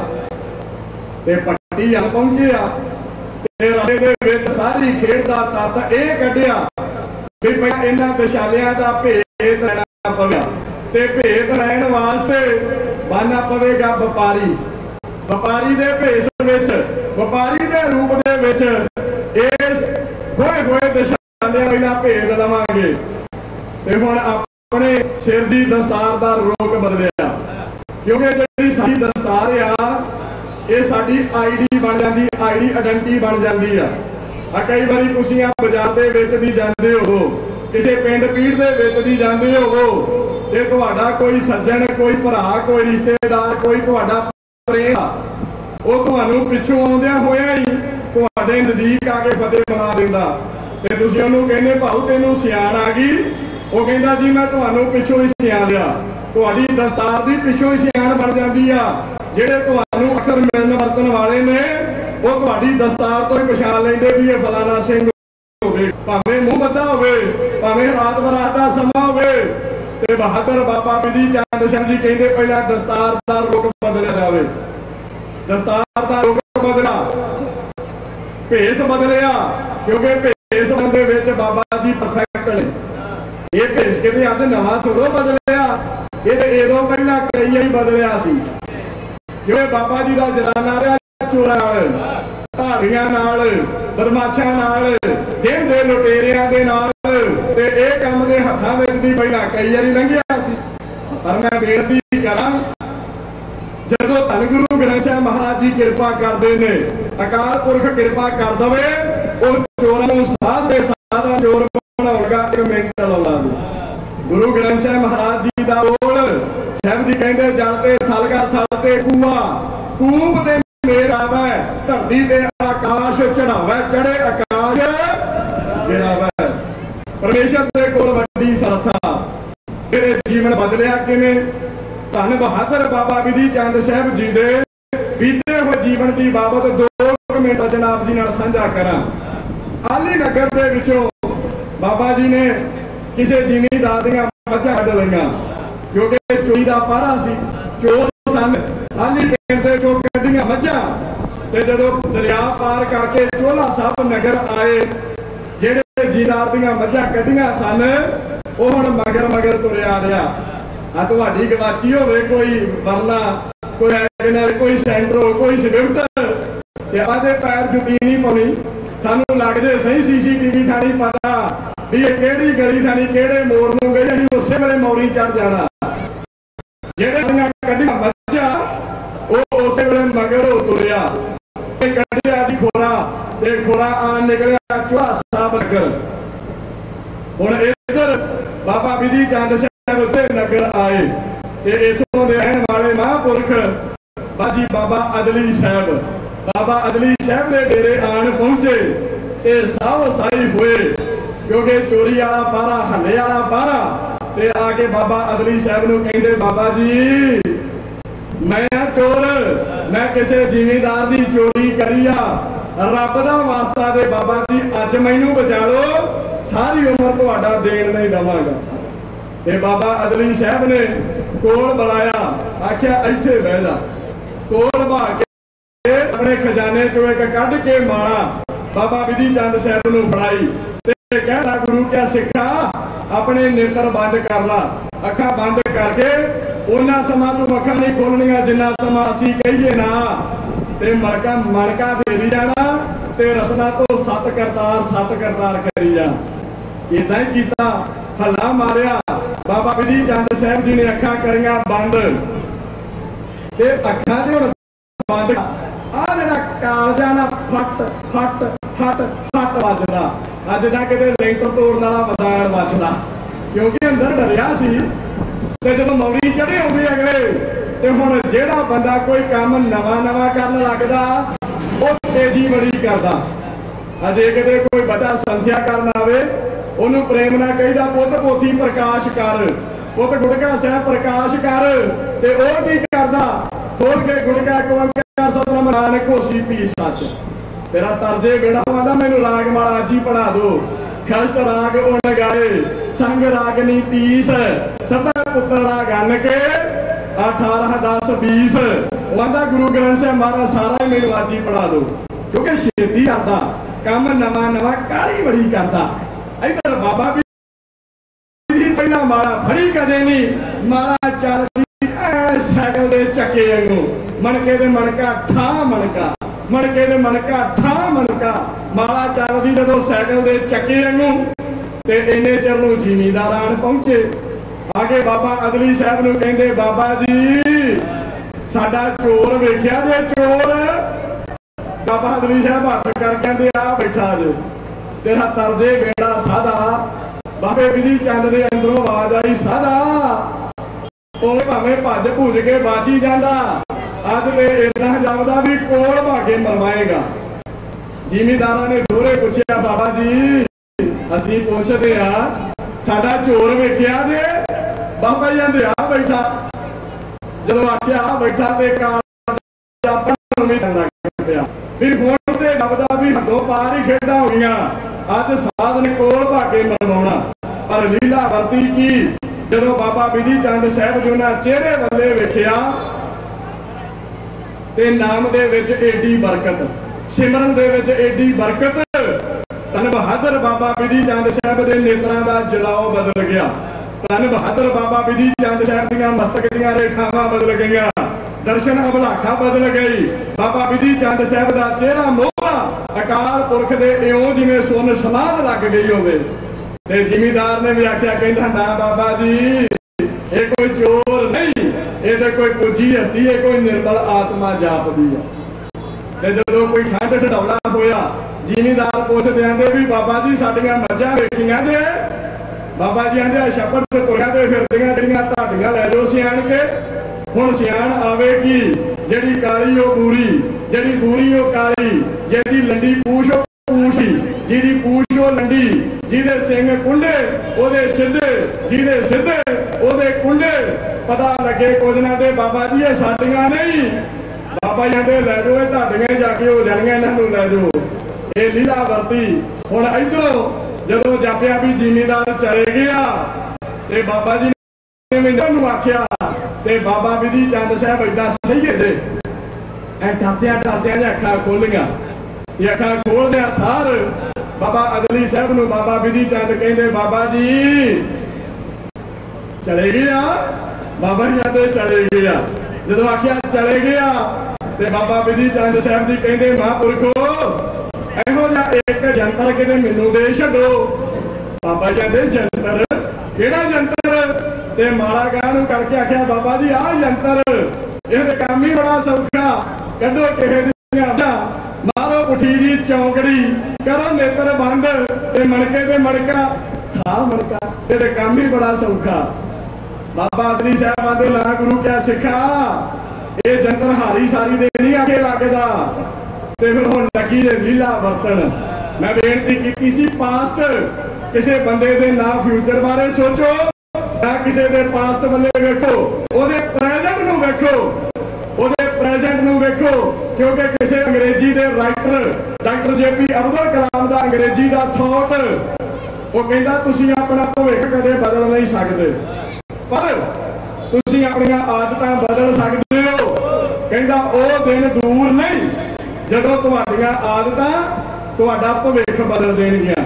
ਉਹ ਕਹਿੰਦਾ you can not change your future but you can change your habits surely your habits will change your future ਕਹਿੰਦਾ, ਤੁਹਾਡੀਆਂ ਤੁਹਾਡਾ ਭਵਿੱਖ ਬਦਲ ਕੇ ਰੱਖ ਦੇਣਗੀਆਂ। ਹੁਣ ਬਾਬੇ ਦੇ ਅੰਦਰ ਲੱਗੀ ਸੱਟ ਤੇ ਧੰਨ ਗੁਰੂ ਗ੍ਰੰਥ ਸਾਹਿਬ ਮਹਾਰਾਜ ਕਹਿੰਦੇ, ਪੂਰਬ ਕਰਮ ਅੰਕੁਰ ਜਪ ਪ੍ਰਗਟੇ ਭੇੜਿਓ ਪੁਰਖ ਰਸਕ ਬੈ ਰਾਗੀ, ਮਿਟਿਓ ਅੰਦੇ ਮਿਲਤ ਹਰ ਨਾਨਕ, ਜਨਮ ਜਨਮ ਕੀ ਸੋਈ ਜਾਗੀ। ਅੰਦਰੋਂ ਆਵਾਜ਼ ਨਿਕਲੀ, ਬਾਬਾ ਜੀ, ਜੇ ਆਖੇ ਹਾਰੀ ਸਾਰੀ ਤੇ ਲੱਗਦਾ ਨਹੀਂ, ਤੇ ਮੈਂ ਫਿਰ ਇਸ ਜੰਤਰ ਨੂੰ ਆਖੇ ਲਾਉਣਾ ਆ। ਲਾਉਣਾ ਕਿਦਾਂ? ਧੰਨ ਗੁਰੂ ਅਰਜਨ ਸਾਹਿਬ ਮਹਾਰਾਜ ਦੇ ਚਰਨਾਂ 'ਚ ਖੜਿਆ ਫਿਰ ਉਥੋਂ ਨਿਰੰਤਰ ਸੇਵਾਵਾਂ ਚੱਲ ਰਹੀਆਂ। ਹੁਣ ਸਮਾਂ ਆ ਗਿਆ ਗੁਰੂ ਹਰਗੋਬਿੰਦ ਸਾਹਿਬ ਜੀ ਦਾ। ਤੇ ਮੈਂ ਉੱਥੇ ਹੀ ਆਦਾ ਜਦੋਂ ਤੁਰਿਆ ਸਾਂ। ਬਾਬੇ ਨੇ ਘਮਾਈ ਪੱਗ। ਉਹ ਜਿਹੜਾ ਸੁੱਕਾ ਦਸ਼ਾਲਾ ਉਹਨੂੰ ਧਰਿਆ ਮੋਢੇ ਤੇ। ਬਹਾਦਰ ਬਾਬਾ ਬਿਧੀ ਚੰਦ ਸਾਹਿਬ ਜੀ ਵਪਾਰੀ ਬਣੇ ਨੇ। ਵਪਾਰੀ ਦਾ ਰੂਪ ਦੇ ਵਿੱਚ ਕੱਲੀ ਕੱਲੀ ਪੱਟੀ ਦੀ ਗਲੀ ਦੇ ਵਿੱਚ ਦੀ ਫਿਰਦੇ ਹੋਏ ਜੋ ਹੋਕਾ ਬਾਬਾ ਬਿਧੀ ਚੰਦ ਸਾਹਿਬ ਜੀ ਲਾ ਰਹੇ ਨੇ ਉਸ ਹੋਕਾ ਪੰਜਾਬ ਦੀਆਂ ਬੁਲੰਦ ਆਵਾਜ਼ਾਂ, ਹੀਰਾ ਸਿੰਘ ਪੰਨੂ, ਮੁਗਲ ਚੱਕ ਪੰਨੂਆ ਜਤਿੰਦਰਜੀਤ ਸਿੰਘ ਪੰਛੀ, ਇਹੋ ਖਿੱਚਦੇ ਨੇ। ਛੇਵੇਂ ਬਾਦਸ਼ਾਹ ਨੇ ਹੁਕਮ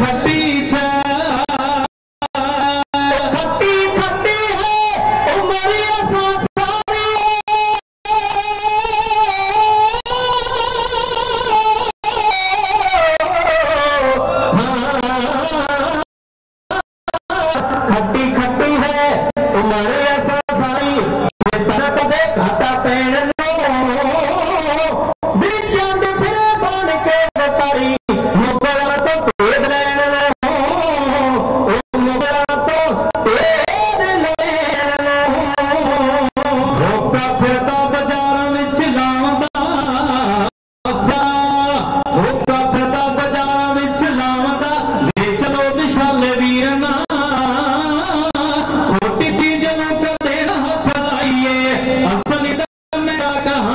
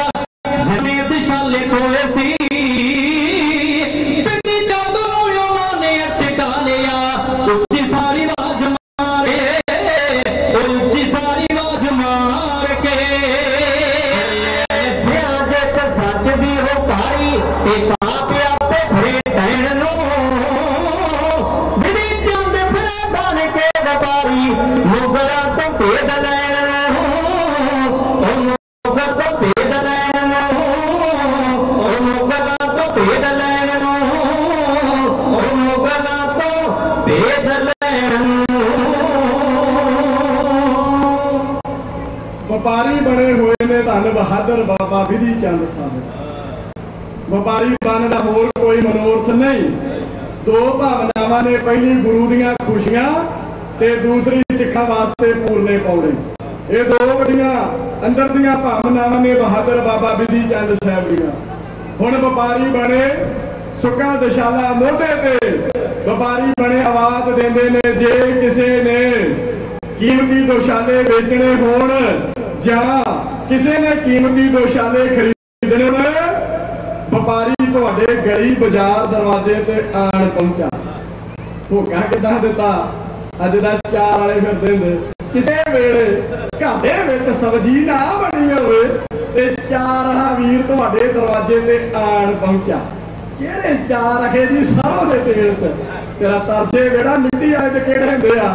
ਸਾਰੇ ਸਰੋਂ ਵਾਲੇ ਆ। ਇੱਧਰ ਬਾਬਾ ਜੀ ਹੋਕਾ ਦਿੰਦੇ ਆ।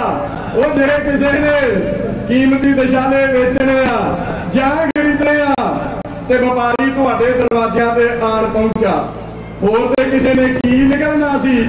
ਉਹ ਜਿੱਦਾਂ ਜੋਗੀ ਮਾਰਦਾ ਨਾ ਬੀਨ ਕਿਸ ਵਾਸਤੇ? ਵੀ ਖੁੱਡ ਚੋਂ ਸੱਪ ਕੱਢਣ ਲਈ।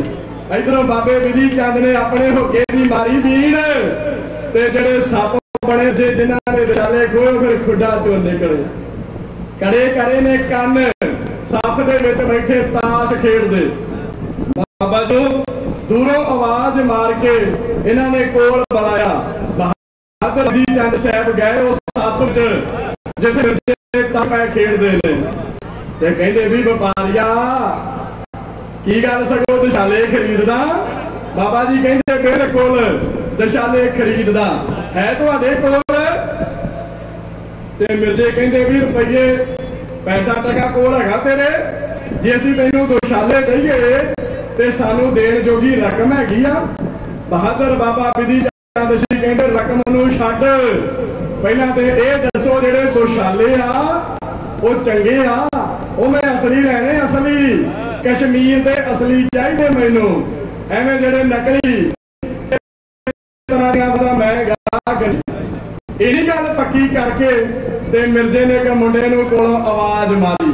ਜਿਹੜਾ ਆਪਣਾ ਇਹਨਾਂ ਦਾ ਮੁੰਡਾ ਮਿਰਜ਼ਿਆਂ ਦਾ, ਉਹਨੂੰ ਦੇ ਕੇ ਆਵਾਜ਼ ਤੇ ਕਹਿੰਦਾ, ਕਾਕਾ ਇਧਰ ਆ। ਉਹਨਾਂ ਕੋਲ ਆ ਤੇ ਆਪਣੀਆਂ ਵੱਲੋਂ ਉਹਨੂੰ ਪਰਦੇ ਨਾ। ਕਿਉਂਕਿ ਡੂੰਘੀਆਂ ਖੇਡਾਂ ਆਪਣੀਆਂ ਵੱਲੋਂ ਪਰਦੇ ਉਹਦੇ ਕੰਨ 'ਚ ਕਹਿੰਦਾ, ਕਾਕਾ ਆ ਜਿਹੜੇ ਥੋੜੇ ਦਿਨ ਪਹਿਲਾਂ ਆਪਾਂ ਦਸ਼ਾਲੇ ਖਰੀਦੇ ਆ, ਜਾਂ ਘਰੋਂ ਜਾ ਕੇ ਤੇ ਉਹ ਲੈ ਕੇ ਆ। ਹੁਣ ਬੱਚਾ ਸੀ ਭੋਲਾ, ਕਹਿੰਦਾ ਪਾਪਾ ਖਰੀਦੇ। ਉਹਦਾ ਤਾਂ ਤੈਨੂੰ ਖਰੀਦਿਆ ਨਾ ਕਿ ਤੂੰ ਇੱਕ ਜਾ ਸਹੀ ਆ ਸਹੀ, ਤੈਨੂੰ ਖਰੀਦਿਆ ਨਾ ਕੀ। ਉਹ ਜੀ ਗਿਆ। ਜਾ ਕੇ ਦੋਵੇਂ ਦਸ਼ਾਲੇ ਆਂਦੇ ਲਿਆ ਕੇ ਧੰਨ ਬਹਾਦਰ ਬਾਬਾ ਵਿਧੀ ਚੰਦ ਸਾਹਿਬ ਦੇ ਗਾੜੀ ਛੁੱਟੇ ਤੇ ਬਾਬਾ ਜੀ ਨੇ ਦੋਵੇਂ ਦਸ਼ਾਲੇ ਵਿਛਾ ਕੇ ਉਹਨਾਂ ਦੋ ਦੇ ਉੱਤੇ ਲਾ ਕੇ ਮੋਢੇ ਨਾਲੋਂ ਤੀਸਰਾ ਉਹਨਾਂ ਦੋ ਦੇ ਉੱਤੇ ਸੁੱਟਿਆ। ਸੁੱਟ ਕੇ ਡੋਰੇ ਨਾਲ ਡੋਰਾ ਮਲਾਇਆ। ਪਰ ਦੇ ਨਾਲ ਪਰ ਮਲਾਇਆ। ਤਾਰ ਦੇ ਨਾਲ ਤਾਰ ਮਲਾਈ। ਕਢਾਈ ਦੇ ਨਾਲ ਕਢਾਈ ਮਲਾਈ। ਜਦੋਂ ਵੇਖਿਆ ਵੀ ਕੰਮ ਐ ਵੇਚਿਆ ਤੇ ਉਹਨਾਂ ਨੇ ਦੋਹਾਂ ਦੀ ਲਾਗੇ ਤੈ ਆਪਦੇ ਵਾਲੇ ਦੀ ਲਾਗੇ ਤੈ ਮੋਢੇ ਦੇ ਉਹਨਾਂ ਵਾਲੇ ਦੋਹਾਂ ਦੀ ਲਾਗੇ ਤੈ ਖੱਬੇ ਹੱਥ ਨਾਲ ਫੜ ਕੇ ਤੇ ਵਗਾ ਕੇ ਮਿਰਜੇ ਦੇ ਪੈਰਾਂ 'ਚ ਮਾਰੇ। ਉਹ ਚੁੱਕੋ ਉਹ ਚੁੱਕੋ। ਖਬਰੇ ਕਿੱਥੋਂ ਸਵਾ ਚੁੱਕੀ ਫਿਰਦੇ ਜੋ? ਉਹਨਾਂ ਦੇ ਦੇ ਪੱਲੇ ਕੱਖ ਨਹੀਂ। ਉਹਨਾਂ ਦੇ ਦੇ ਪੱਲੇ ਨਿਸ਼ਾਨਿਆਂ ਦੇ ਕੱਖ ਨਹੀਂ। ਖਬਰੇ ਕਿੱਥੋਂ ਮਿੱਟੀ ਚੁੱਕੀ ਫਿਰਦੇ ਆ? ਇਹਨੇ ਦੇਣਾ ਕੁਝ ਇਹ ਵਪਾਰੀ ਜਿਹੜੇ ਆਉਂਦੇ ਆ, ਅੱਜ ਦੇ ਜ਼ਮਾਨੇ ਹੀ ਬਦਲ ਗਿਆ। ਆ ਜਦੋਂ ਕਿਤੇ ਭਲੇ ਵੇਲਿਆਂ ਚ ਚਿੱਟੀਆਂ ਦਾੜੀਆਂ ਵਾਲੇ ਬਾਬੇ ਬੈਠੇ ਆ ਚਾਦਰਾਂ ਵਾਲੇ, ਇਹਨਾਂ ਦੇ ਵੇਲੇ ਜਦੋਂ ਵਪਾਰੀ ਆਉਂਦੇ ਸਨ, ਤੇ ਉਹਨਾਂ ਨੇ ਫਿਰ ਆ ਕੇ ਜਦੋਂ ਕੋਈ ਮੱਝ ਖਰੀਦਣੀ ਹੁੰਦੀ ਸੀ, ਉਹਨੇ ਆ ਕੇ ਜ਼ਿਮੀਦਾਰ ਨੂੰ ਟੋਣਾ, ਭਾਊ ਆ ਮੈਂ ਕਿੰਨੇ ਦੀ ਵੇਚਣੀ ਆ? ਤੇ ਫਿਰ ਸਿਆਣੇ ਜ਼ਿਮੀਦਾਰ ਨੇ ਆਪਣੀ ਵੱਲੋਂ ਕਹਿਣਾ, ਨੇ ਕਹਿਣਾ ਵੀ ਇਹ ਜਿਹੜੀ ਮੈਂ ਆ 3500 ਰੁਪਏ ਦੀ ਮੈਂ ਛੱਡੂਗਾ। ਫਿਰ ਵਪਾਰੀ ਨੇ ਕੱਢਣੇ ਨੁਕਸ। ਉਹ ਨਾ ਇਹਦੇ ਖੋਸੇ ਦੇ ਉਹ ਨਾ ਇਹਦੇ ਕੰਨ ਪੱਤਰੇ ਉਹ ਨਾ ਇਹਦੇ ਕੋਈ ਸਿੰਘਾਂ ਦਾ ਸ਼ਿੰਗਾਰ, ਉਹ ਨਾ ਇਹਦੀ ਪੂਛ ਪੱਤਰੀ ਉਹ ਦੇ ਬੱਲੇ ਕੱਖ ਨਹੀਂ 3500 ਮੰਗਦਾ ਕਾਢਾ। ਕੱਢ ਕੇ ਉਹਦੇ ਤੇ 32 ਕਿਸ਼ੋ ਨੁਕਸ, ਉਹ 3500 ਵਾਲੀ 15 1400 ਖਰੀਦ ਲੈਂਦਾ। ਫਿਰ ਖੜ ਕੇ ਉਹਨੂੰ ਘਰੇ, ਉਹਦਾ ਕਰਾਉਂਦਾ ਕੇਸੀ ਸਨਾਨ ਤੇ ਫਿਰ ਪਿੰਡੇ ਨੂੰ ਮਾਰਦਾ ਤੇਲ। ਲੁੱਸ ਲੁੱਸ ਕਰਦੇ ਬਤਾਉਣ ਲੱਗੀ, ਕੱਢ ਕੇ ਮੱਝ। ਫੌਜੀਆਂ ਦੇ ਬੂਟ ਅਰਗੀ ਉਹਦੇ ਪਿੰਡੇ ਦੇ ਵਿੱਚ ਭਾਵੇਂ ਪੱਗ ਬੰਨ ਲਓ। ਕੱਢ ਕੇ ਦਾਦਾ ਉਹਦਾ ਪਿੰਡਾ, ਫਿਰ ਮਸਿਆ ਵਾਲੇ ਦਿਨ ਲਾ ਕੇ 10 ਬਾਈ 10 ਦੀ ਚਾਨਣੀ। ਤੇ ਫਿਰ ਮੰਡੀ ਦੇ ਵਿੱਚ ਉਹ ਮੱਝ ਨੂੰ ਕਿਵੇਂ ਬੰਨਦਾ ਆਪ ਬੈਠਾ ਕੁਰਸੀ ਤੇ, ਫਿਰ ਇਦਾਂ ਦਾ ਕੋਈ ਜ਼ਿਮੀਦਾਰ ਮੰਡੀ 'ਚ ਜਾਂਦਾ। ਜਾ ਕੇ ਵੇਖ ਕੇ ਮੱਝ ਲੈ ਤੇ ਉਹ ਫਿਰ ਵਪਾਰੀ ਨੂੰ ਪੁੱਛਦਾ। ਵਪਾਰੀਆ ਆ ਮੈਂ ਇਹ ਕਿੰਨੇ ਕੁ ਦੀ ਤੇ ਵਪਾਰੀ ਐਨੂੰ ਮੂੰਹ ਕਰਦਾ, ਖੁਰਕ ਕੇ ਕੰਨ ਦਿਆ, ਸਗੋਂ ਕਿਹੜੀ ਝੋਟੀ ਦਾ ਪੁੱਛਦਾ? ਉਹ ਮੈਂ ਹੰਦਾ ਜਾਂਦਾ ਕਿਹੜੀ ਝੋਟੀ ਦਾ ਪੁੱਛਣਾ ਉਹ ਨਹੀਂ ਨਹੀਂ, ਇਹਦੀਆਂ ਗੱਲਾਂ ਤੇਰੇ ਵਸੋਂ ਪਾਰ ਦੀਆਂ ਓਏ ਦੀ ਤੇ ਨਾਨੀ ਪੀਪਾ ਪੀਪਾ ਦੁੱਧ ਦਾ ਦੇ ਜਾਂਦੀ ਆ। ਇਹ ਤੇ ਤੋਂ ਖਰੀਦੀ ਜਾਣੀ ਆ। ਉਹਨੂੰ ਲਿਆ ਕੇ ਬਲਾਵੇਂ ਦੇ ਵਿੱਚ 1500 ਵਾਲੀ 3500 4000 ਦੀ ਵੇਚ ਕੇ ਉਹ ਮਾਰਦਾ ਈ। ਇਹ ਕੰਮ ਵਪਾਰੀਆਂ ਦੇ ਇਧਰ ਬਾਬਾ ਬਿਧੀ ਚੰਦ ਕੱਢ ਕੇ 150 ਨੁਕਸ ਵਾਂਦਾ ਨਾ ਦੁਸ਼ਾਲਿਆਂ ਦੇ ਪੱਲੇ ਹੀ ਇਹਨੇ ਦੇਣਾ ਕੁਝ ਨਹੀਂ, ਇਹਨੇ ਮਾਰਨਾ ਸ਼ੇਰ ਪੰਜਾ। ਇਹਨੇ ਕਰਨਾ ਮਾਰਾ ਬਕਾਰਾ ਕੱਢ ਕੇ ਨੁਕਸ, ਕਹਿੰਦਾ ਚੁੱਕੋ ਜਿੱਥੋਂ ਸਵਾਹ ਲਿਆਂਦੀ ਜੇ ਉੱਥੇ ਹੀ ਸੋਟਾਓ ਮੁੰਡੇ ਨੇ ਉਸੇ ਤਰ੍ਹਾਂ ਮਾਰੇ ਦਸ਼ਾਲੇ ਕੱਛੇ ਤੇ ਉਹਨਾਂ ਹੀ ਚਵਾਰਿਆਂ ਨੂੰ ਤੁਰਿਆ ਜਾਂਦਾ। ਤੇ ਬਾਬੇ ਨੇ ਅੱਖਾਂ ਦੀ ਦੂਰਬੀਨ ਕੀਤੀ, ਕਾਕੇ ਵਾਲੇ ਫਿੱਟ। ਤੇ ਸਾਰਾ ਨਕਸ਼ਾ ਨੈਵੀਗੇਸ਼ਨ ਇੱਥੇ ਹਾਰਡ ਡਿਸਕ ਤੇ ਫਿੱਟ ਕਰ ਲਿਆ। ਵੀ ਕਿਹੜੀ ਗਲੀ ਕਿਧਰੋਂ, ਕਿਹੜੀ ਗਲੀ ਕਿਧਰੋਂ, ਕਿੰਨੇ ਕ ਕਰਮਾ ਐਨੂੰ ਕਿੰਨੇ ਕ ਕਰਮਾ ਐਨੂੰ ਨਕਸ਼ਾ ਸਾਰਾ ਦਿਮਾਗ 'ਚ ਪਾ ਲਿਆ। ਤੇ ਹੁਣ ਚਵਾਰੇ ਦਾ ਸਾਰਾ ਵੇਰਵਾ ਕੱਢ ਲਿਆ। ਹੁਣ ਦਿਨ ਹੋ ਗਿਆ ਜੀ ਅਗਲਾ। ਤੇ ਅੱਜ ਤਿਆਰੀ, ਅੱਜ ਬਾਬੇ ਨੇ ਆਪਣਾ ਕੰਮ ਕਰ ਜਾਣਾ। ਹੁਣ ਫਿਰ ਬਾਬਾ ਵਿਧੀ ਚੰਦ ਸਾਹਿਬ ਜਾਂਦੇ ਇੱਕ ਬੁਰਕੀ ਵਾਲੇ ਦੁਕਾਨ ਤੇ ਦਰਜੀ ਦੇ ਕੋਲ। ਉਹ ਦਰਜੀਆ ਸਗੋਂ ਬੁਰਕੇ ਸੀ ਨਾ ਉਹਦਾ ਹਾਂ ਭਾਉ ਸੀ ਨਾ ਕਿਹੜੇ ਇਲਾਕੇ ਦਾ ਸਵਾਉਣਾ ਕਿਹੜੇ ਕੱਪੜੇ ਦਾ ਸਵਾਉਣਾ ਤੇ ਬਾਬਾ ਜੀ ਆਂਦੇ ਇਲਾਕੇ ਜਿਹੜੇ ਮਰਜ਼ੀ ਦਾ ਸੀ ਦੇ, ਚੰਗੀ ਕਾਲੀ ਸੂਪ ਦਾ ਸਵਾਉਣਾ ਹੀ ਬੁਰਕਾ ਤੇ ਲਾਮਾ ਛੱਡੀ ਮੈਨਾ ਵਾਂਦਾ ਵੇਅਰ ਇਜ਼ ਮੇਜ਼ਰਮੈਂਟ ਕਿੱਥੇ ਆ ਨਾਪ ਲਿਆਓ, ਨਾਪ ਚਾਹੀਦਾ? ਉਹਦਾ ਪੂਰਾ ਨਾਪ ਕੋਲ ਚਾਹੀਦਾ? ਤੇ ਬਾਬਾ ਜੀ ਐ ਕਰੋਗੇ ਜਿੱਦਾਂ ਮੋਟਰ ਕਰਦੇ ਫੋਟੋ ਲਾਉਣੀ ਹੋਵੇ। ਅਜੇ ਮੇਰਾ ਨਾਪਾ ਲੈ ਉਹਦਾ ਭਾਉ ਸਿਆਣੀ ਗੱਲ ਕਰ। ਤੀਨੀ ਤੇ ਮਰਦ ਦਾ ਨਾਪ ਇੱਕ ਨਹੀਂ ਹੁੰਦਾ। ਜੇ ਬੇਗਮ ਦਾ ਬੁਰਗਾ ਸਵਾਉਣਾ ਤੇ ਤੇਰੀ ਬੇਗਮ ਦਾ ਨਾਪ ਚਾਹੀਦਾ ਬਾਬਾ ਜੀ ਕਹਿੰਦੇ ਮੇਰੀ ਬੇਗਮ, ਮੇਰੇ ਵਰਗੀ ਲੰਬੀ ਮੋਟੀ ਤਾਜੀ, ਮੇਰੇ ਅੱਗੇ ਹੀ ਉਹਦਾ ਕੱਦ ਕਾਠ। ਤੂੰ ਮੇਰਾ ਨਾਪਾ ਲੈ ਤੇ ਜਾਨ ਛੱਡ ਮੇਰੀ ਬੇਗਮ ਦਾ ਨਾਪ ਬਣ ਗਿਆ। ਉਹ ਦਰਜੀ ਕਹਿੰਦਾ ਆਂਦਾ ਬੁਰਕਾ ਤੇ ਤੇਰੇ ਨਾਪ ਦਾ ਬਣਾ ਦੂੰਗਾ। ਜਿਹੜੀ ਮਕਾਨ ਲੱਥਣੀ ਮਕਾਨ ਕਿੰਨੇ ਲਵਾਉਣੀ ਆ, ਕੌਣ ਲਵਾਵੇਗਾ? ਬਾਬਾ ਜੀ ਦੇ ਮਕਾਨ ਮਕਾਨ ਕਿੱਦਾਂ ਲੈਂਦੀ ਆ? ਉਹ ਮੈਂ ਦੱਸਦਾ, ਆ ਜਦੋਂ ਕਿਸੇ ਸਾਡੀ ਬੀਬੀ ਭੈਣ ਨੇ ਦਿੱਤਾ ਹੋਵੇ ਨਾ ਸ਼ਹਿਰ ਸੂਟ ਸੀਪਣਾ, ਤੇ ਉਹਦੇ ਫਿਰ ਸਰਦਾਰ ਜੀ ਇਹਦੇ ਸ਼ਹਿਰ ਨੂੰ ਗਏ ਹੁਣ ਟਾਊਨ ਨੂੰ ਸਿਟੀ ਨੂੰ ਗਏ ਹੁਣ, ਬਾਜ਼ਾਰ ਨੂੰ ਗਏ ਹੁਣ, ਫਿਰ ਪਿੱਛੋਂ ਫੋਨ ਦੀ ਟੱਲੀ ਖੜਕਦੀ ਆ। ਸਰਦਾਰ ਜੀ ਨੰਦੇ ਆ ਇਹ ਘਰੋਂ ਆਇਆ। ਜੀ ਧਿਆਨੇ ਦੇ ਅੱਗੇ ਫੋਨ ਚੁੱਕਦੇ ਆ।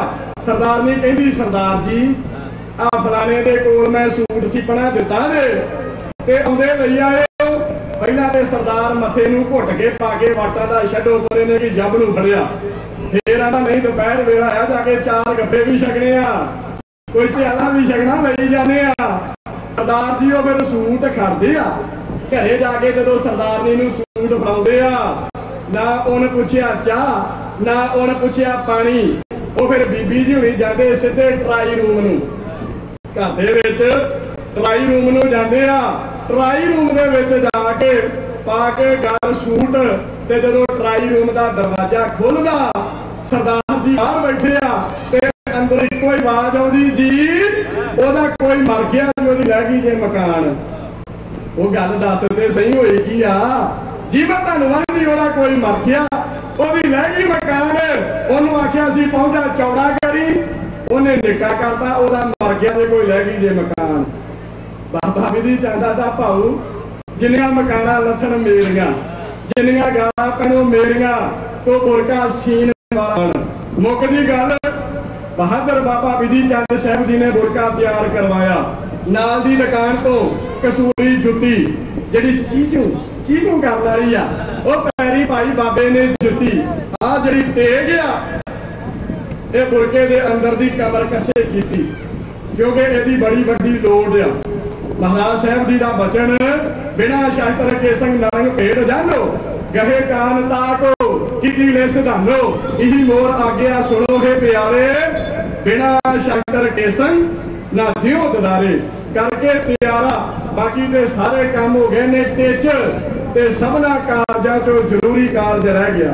ਉਹ ਕਿਹੜਾ? ਧੰਨ ਗੁਰੂ ਗ੍ਰੰਥ ਸਾਹਿਬ ਮਹਾਰਾਜ ਜੀ ਕਹਿੰਦੇ ਨੇ, ਕੀਤਾ ਲੋਹਿਆ ਕੰਮ, ਸੋ ਹਰ ਪਹਿ ਹੈ, ਕਾਰਜ ਦੇ ਸਵਰ, ਸਤਗੁਰ ਸੱਚ ਸਾਖੀ ਹੈ। ਉਹ ਕਾਰਜਾ ਜੀ ਅਰਦਾਸ ਹੁਣ ਧੰਨ ਬਹਾਦਰ ਬਾਬਾ ਵਿਧੀ ਚੰਦ ਸਾਹਿਬ ਕਾ ਪਾ ਕੇ ਕਾਲੀ ਸੂਫ ਦਾ ਬੁਰਕਾ। ਇੱਕ ਜੁੱਤੀ ਤੇਗ ਕਰਕੇ ਅੰਦਰ ਦੀ ਕਮਰ ਕਸੇ, ਜੋੜ ਕੇ ਦੋਵੇਂ ਹੱਥ ਝੁਕੇ ਹੋਏ ਨੇਤਰਾਂ ਦੇ ਨਾਲ, ਅੰਦਰ ਦੀ ਨਿਰਮਾਣਤਾ ਦੇ ਨਾਲ, ਕਾਰਜਾਂ ਦੀ ਸਫਲਤਾ ਵਾਸਤੇ ਛੇਵੇਂ ਮਹਾਰਾਜ ਧੰਨ ਗੁਰੂ ਹਰਗੋਬਿੰਦ ਸਾਹਿਬ ਜੀ ਦੇ ਚਰਨਾਂ ਦੇ ਵਿੱਚ ਪ੍ਰੇਮ ਦਾ ਇੱਕ ਅਰਦਾਸਾ, ਇਹੋ ਸੋਚਦੇ। ਮੁਗਲਾਂ ਦੇ ਮਹਿਲਾਂ ਵੱਲ ਜਾਣਾ ਕਰਦਾ ਸ਼ੇਰ ਤਿਆਰੀ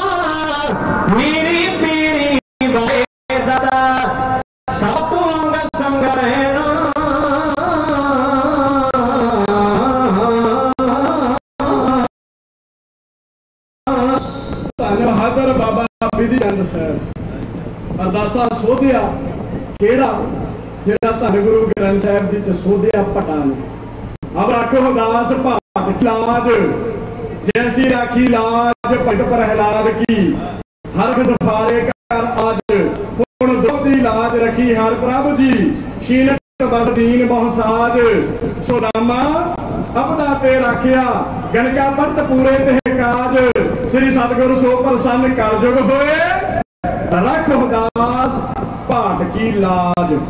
ਸੋਧ ਕੇ ਅਦਾਸਾ। ਬਾਬਾ ਬਿੱਲੀ ਚੰਦ ਸਾਹਿਬ ਜੀ ਹੁਣ ਬਾਜ਼ਾਰ ਦੇ ਵਿੱਚ ਦੀ ਤੁਰੇ ਜਾ ਰਹੇ ਨੇ। ਬੜੀਆਂ ਦਾਦਾ ਆਈਆਂ।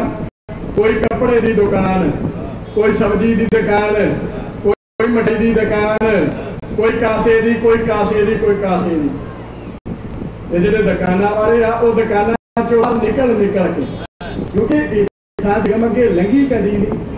ਜਵਾਨ ਬੜੇ ਬਾਬਾ ਬੀਬੀ ਚੰਦ ਸਿੰਘ। ਕਸੂਰੀ ਜੁੱਤੀ ਤੇ ਜੁੱਤੀ ਦੀ ਸਵਾਈ ਤੇ ਅੱਗੇ ਭਾਵੇਂ 6 ਕਿਲੋ ਦਾਣੇ ਪੌਡਾ ਜੁੱਤਾ ਪਾਇਆ ਬਾਬਾ ਬੀਬੀ ਚੰਦ ਸਾਹਿਬ ਨੇ। ਐਡਾ ਭਰਵਾ ਜੱਸਾ ਲਾਂਘਾ ਵੱਡੀਆਂ। ਬਾਬਾ ਜੀ ਜਾ ਤੇ ਦੁਕਾਨਾਂ ਵਾਲੇ ਦੁਕਾਨਾਂ ਚੋਂ ਬਾਹਰ ਨਿਕਲ ਨਿਕਲ ਕੇ ਕਿਆ ਫੇਰ ਆਉਂਦੇ ਆ। ਕਹਿੰਦਾ ਇਦਾਂ ਜਾਪਦਾ ਰਹੀਮ ਦੀ ਮਾਸੀ ਜਾਂਦੀ ਆ। ਦੂਸਰਾ ਦਾ ਨਾਂ ਭਾਉ ਸ਼ਰਤਲਾ ਇਹ ਅਬਦੁੱਲੇ ਦੀ ਤਾਈ ਜਾਂਦੀ। ਤੀਸਰਾ ਕਹਿੰਦਾ, ਨਹੀਂ ਕਿਆ ਵਾ ਤੇਰਾ ਵੀ ਗਲਤ। ਮੇਰਾ ਨਾਂ ਸ਼ਰਤਲਾ ਇਹ ਮੁਹੰਮਦ ਦੀ ਬੇਗਮ ਜਾਂਦੀ ਹੈ। ਉਹਦੀ ਚਾਲ, ਉਹਦਾ ਦਾ ਸਾਰਾ, ਇਹਦਾ ਸਿਸਟਮ ਉਹਦਾ ਦਾ, ਇਹਦਾ ਬੁਕੇ ਦਾ ਸਟਾਈਲ ਇਹ ਹੋਰ ਕੋਈ ਨਹੀਂ ਕਿ ਆਪ ਆ ਰਹੇ। ਪਰ ਇਧਰ ਬਾਬਾ ਬਿਧੀ ਚੰਦ ਸਾਹਿਬ ਆਪਣੇ ਆਨੰਦ ਵਿੱਚ ਤੁਰੇ ਜਾ ਰਹੇ ਆ। ਬਾਬਾ ਬਿਧੀ ਚੰਦ ਸਾਹਿਬ ਹੁਣ ਚਬਾਰੇ ਦੇ ਉਸ ਵਿਹੜੇ ਦੇ ਦਰਵਾਜ਼ੇ ਦੇ ਕੋਲ ਆਣ ਪਹੁੰਚੇ। ਜਿਸ ਚਬਾਰੇ ਵਿੱਚ ਦਸ਼ਾਲੇ ਪਏ ਆ। ਤੇ ਜਦੋਂ ਆਏ ਦਹਲੀਜ਼ ਤੇ ਅਗਾਹ ਲੰਘਣਾ ਬਾਬਾ ਬਿਧੀ ਚੰਦ ਸਾਹਿਬ ਮਨ ਵਿੱਚ ਆਂਦੇ, ਇੱਕ ਸਵਾਈ ਦੀ ਮਿਸਕਾਲ ਦੀ ਛੇਵੇਂ ਮਾਰੇ ਨੂੰ ਫੇਰ ਮਾਰ ਦਈਏ।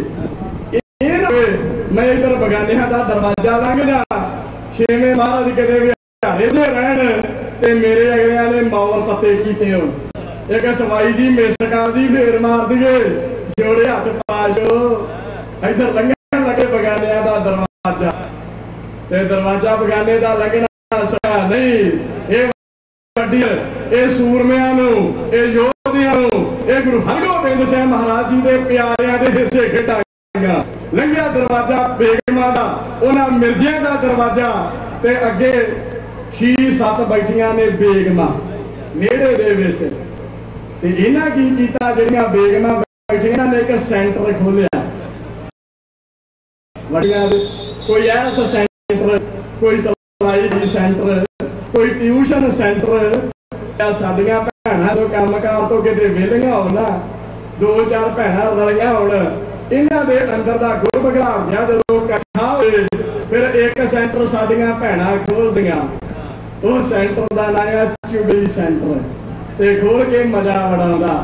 ਕਿਸੇ ਦੀ ਰੱਖ, ਕਿਸੇ ਦਾ ਤੇ ਹੁਣ ਪੱਖੇ ਬੰਦ ਹੋਇਆ ਤੇ ਥੋੜੀ ਜੀ ਇਹ ਲੜਾਈ ਇਦਾਂ ਜਾਪਦਾ ਵੀ ਉਹਨਾਂ ਨੇ ਸੈਂਟਰ ਖੋਲਿਆ ਬੇਗਮਾਂ ਖੋਲ ਕੇ ਬੈਠੀਆਂ ਸੈਂਟਰ ਤੇ ਬਾਬਾ ਬਿਧੀ ਚੰਦ ਸਾਹਿਬ ਕਿਸੇ ਬੇਗਮ ਨੂੰ ਕਵਾਇਆ ਨਹੀਂ। Step by step by step ਪੌੜਾ ਤੁਰੇ ਦੇ ਚਵਾਰੇ ਦੀਆਂ। ਇੱਧਰ ਬੇਗਮਾ ਨੇ ਵੇਖਿਆ ਵੀ ਕੋਈ ਦਵਾ ਨਹੀਂ, ਕੋਈ ਸਲਾਮ ਨਹੀਂ। ਇਹ ਕਿਹੜੀ ਕਿਧਰ ਨੂੰ ਜਾਂਦੀ ਆ? ਤੇ ਇੱਕ ਵਿੱਚੋਂ ਕਹਿੰਦੀ ਵੀ ਇਉਂ ਜਾਪਦਾ ਵੀ ਕੋਈ ਪਰੌਣੀ ਆਪਣੇ ਘਰ ਦੀ ਆ ਤੇ ਨਵੀਂ ਪਰੌਣੀ ਆ, ਜਿਹਨੂੰ ਸਾਡਾ ਪਤਾ ਨਹੀਂ, ਤੇ ਚੋਂ ਵੱਡੀ ਬੇਗਮ ਆ ਜੀ, ਮੇਰਾ ਤਜਰਬਾ ਕਿਹਾ ਇਹ ਭੂਆ ਫਾਤਮਾ ਜ਼ਿਆਦਾ ਕਿਸੇ ਗੱਲੋਂ ਨਾਰਾਜ਼ ਆ, ਤਾਂ ਨਹੀਂ ਕਵਾਇਆ ਤੋ ਬੱਚਾ ਵੇਗਾ ਆਪਾਂ ਵੀ ਜਾਣਿਆ ਚਬਾਰੇ ਨੂੰ। ਹੁਣ ਬਾਬਾ ਬਿਧੀ ਚੰਦ ਸਾਹਿਬ ਚਬਾਰੇ ਤੇ ਜਾ ਕੇ ਅੱਗੇ ਡੱਠਾ ਪਲੰਗ ਪਲੰਗ ਤੇ ਆਸਣ ਲਾ ਕੇ ਬੈਠੇ। ਹੁਣ ਇਧਰੋਂ ਥੱਲਿਓ ਇੱਕ ਵੀ ਚੱਲ, ਦੋ ਵੀ ਚੱਲ, ਤਿੰਨ ਵੀ ਚੱਲ। ਜਦੋਂ ਸ਼ੀਏ ਸੱਤੇ ਬੇਗਮਾ ਕੁਕੜਾਂ ਦੇ ਖੁੱਡੇ ਨੂੰ ਚਬਾਰੇ ਚਾਣ ਵੜੀਆਂ ਤੇ ਬਾਬਾ ਬਿਧੀ ਚੰਦ ਸਾਹਿਬ ਨੇ ਮਾਰੀ ਪਲੰਗ ਤੇ ਛਾਲ। ਦੋ ਤਖਤਿਆਂ ਵਾਲੇ ਦਰਵਾਜ਼ੇ ਨੂੰ ਢੋਇਆ। ਉਹਦਾ ਲਾਇਆ ਕਿਆ ਕੁੰਡੇ 'ਚ ਫਸਾਇਆ ਜਿੰਦਰਾ ਤੇ ਲੱਕ ਲਾ ਲਿਆ ਦਰਵਾਜ਼ੇ ਨੂੰ। ਇਹ ਆਂਦੀਆਂ ਭੂਆ ਜੀ, ਗਲਤੀ ਹੋ ਗਈ ਆ, ਸਾਥੋਂ ਹੋ ਕਰੋ ਭੂਆ ਜੀ, ਮੁੱਖ ਦੇ ਵਿਖਾਓ ਜਿੰਦੀ ਜਾਣੇ ਕਈ ਗਲਤੀਆਂ ਹੋ ਜਾਂਦੀਆਂ, ਕਈ ਭੁੱਲਾਂ ਹੋ ਜਾਂਦੀਆਂ।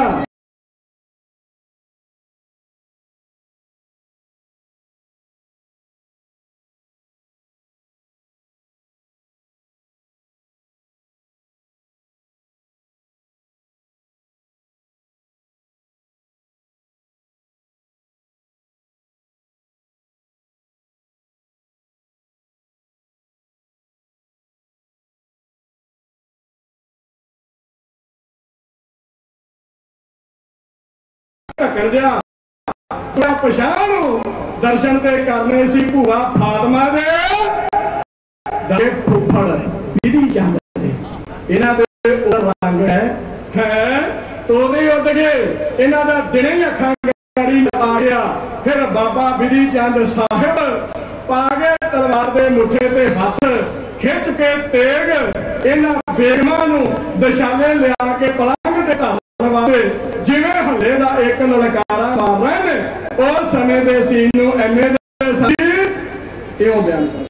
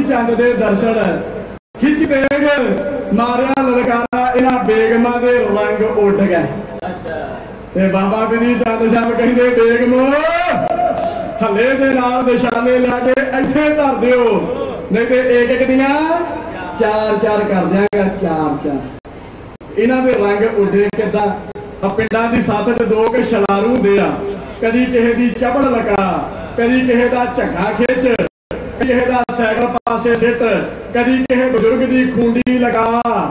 ਤੇ ਇਦਾਂ ਦੇ ਫਲੇ ਖਾ ਦੇ ਪੈਰਾਂ ਦੇ ਲਾਗੋਂ ਦੀ ਕਿਤੇ ਸੱਪ ਲੰਘ ਜੇ ਫਿਰ ਮੂੰਹ ਤੋਂ ਸੱਸਾ ਨਹੀਂ ਨਿਕਲਦਾ। ਹਾ ਹਾ ਹਾ ਹੱਪ। ਫਿਰ ਹੱਪ ਹੱਪ ਹੁੰਦੀ। ਇਧਰ ਬੇਗਮਾਂ ਵੀ ਹੱਪ ਹੱਪ ਤੇ ਆ ਗਿਆ। ਨਹੀਂ, ਤੂੰ ਰੱਖਿਆ। ਦੂਸਰੀਆਂ ਦੀ ਤੂੰ ਰੱਖਿਆ। ਉਹ ਕਰ ਕਤਰ ਕੇ ਜਿੱਦਾਂ ਕਿਦਾਂ ਦੋਵੇਂ ਦਿਸ਼ਾਲੇ ਬਾਬੇ ਦੇ ਗਾੜੀ ਧਿਆਨ ਕਰੇ ਮਾਰਿਆ। ਤਿੰਨੇ ਦਿਸ਼ਾਲੇ ਬਹਾਦਰ ਬਾਬਾ ਵਿਧੀ ਚੰਦ ਸਾਹਿਬ ਨੇ ਪਹਿਰੇ ਕੀਤੇ। ਹੁਣ ਪ੍ਰਸੰਗ ਦੇ ਵਿੱਚੋਂ ਛੰਦ ਤੇ ਬਚਿਆ ਬਾਕੀ ਇੱਕ। ਇੱਕ ਤੇ ਮੇਰਾ ਸਮਾਂ ਸਮਾਪਤ ਹੋ ਗਿਆ। ਉੱਤੋਂ ਆਉਣ ਵਾਲਾ ਜਥਾ ਸਾਡੇ ਵੱਡੇ ਭਰਾਵਾਂ ਦਾ, ਸਾਡੇ ਸਤਿਕਾਰਯੋਗ ਗਿਆਨੀ ਲਖਵੀਰ ਸਿੰਘ ਜੀ ਕੋਮਲ ਸਾਹਿਬ, ਸਾਡੇ ਪ੍ਰੇਮ ਵਾਲੇ, ਸਾਡੇ ਸਨੇਹੀ ਉਹਨਾਂ ਦੇ ਸਾਥੀ, ਆਪਣੇ ਇਸ ਮੈਨੇਜਮੈਂਟ ਕਮੇਟੀ ਦੇ ਸਾਬਕਾ ਪ੍ਰਧਾਨ ਸਵਰਗ ਵਾਸੀ ਸਰਦਾਰ ਅਜੀਤ ਸਿੰਘ, ਉਹਨਾਂ ਦੇ ਲਾਇਕ ਸੁਪੁੱਤਰ ਸਰਦਾਰ ਗੁਰਚਰਨ ਸਿੰਘ ਜੀ ਚੰਨ ਫਿਰੋਜ਼ਪੁਰੀ। ਵੱਡਾ ਉਹਨਾਂ ਦਾ ਸਿੱਖ ਜਗਤ ਦੇ ਵਿੱਚ ਨਾਮ, ਉਹਨਾਂ ਦੇ ਸਾਥੀ ਵੀਰ ਵਿਕਰਮਜੀਤ ਸਿੰਘ, ਲਾਲੂ ਘੁੰਮਣ ਸਾਹਿਬ, ਵੀਰ ਅੰਗਰੇਜ਼ ਸਿੰਘ। ਕੋਟ ਖਾਲਸਾ, ਸਮੁੱਚੇ ਜਥੇ ਵੱਲੋਂ ਮਾਇਆ ਰੂਪ ਵਿੱਚ ਮਾਨ ਆਇਆ ਤੇ ਉਹ ਮੇਰਾ ਆਪਣਾ ਜਥਾ ਮੈਂ ਨਹੀਂ ਚਾਹੁੰਦਾ ਵੀ ਹੁਣ ਮੈਂ ਆਪਣਾ ਸਮਾਂ ਪੂਰਾ ਕਰਕੇ ਤੇ 5-7 ਇਹਨਾਂ ਦੇ ਸਮੇਂ ਤੋਂ ਮਿੰਟ ਲਵਾਂ। ਇਸ ਵਾਸਤੇ ਇਹਨੇ ਕੋ ਬਚਨ ਆਪ ਜੀ ਨੇ ਪ੍ਰਵਾਨ ਕਰਨੇ। ਮੈਂ ਦੋ ਕੁ ਪੁਆਇੰਟ ਅੱਧੇ ਕੁ ਮਿੰਟ ਚ ਆਪ ਜੀ ਨਾਲ ਸਾਂਝੇ ਕਰਾਂ।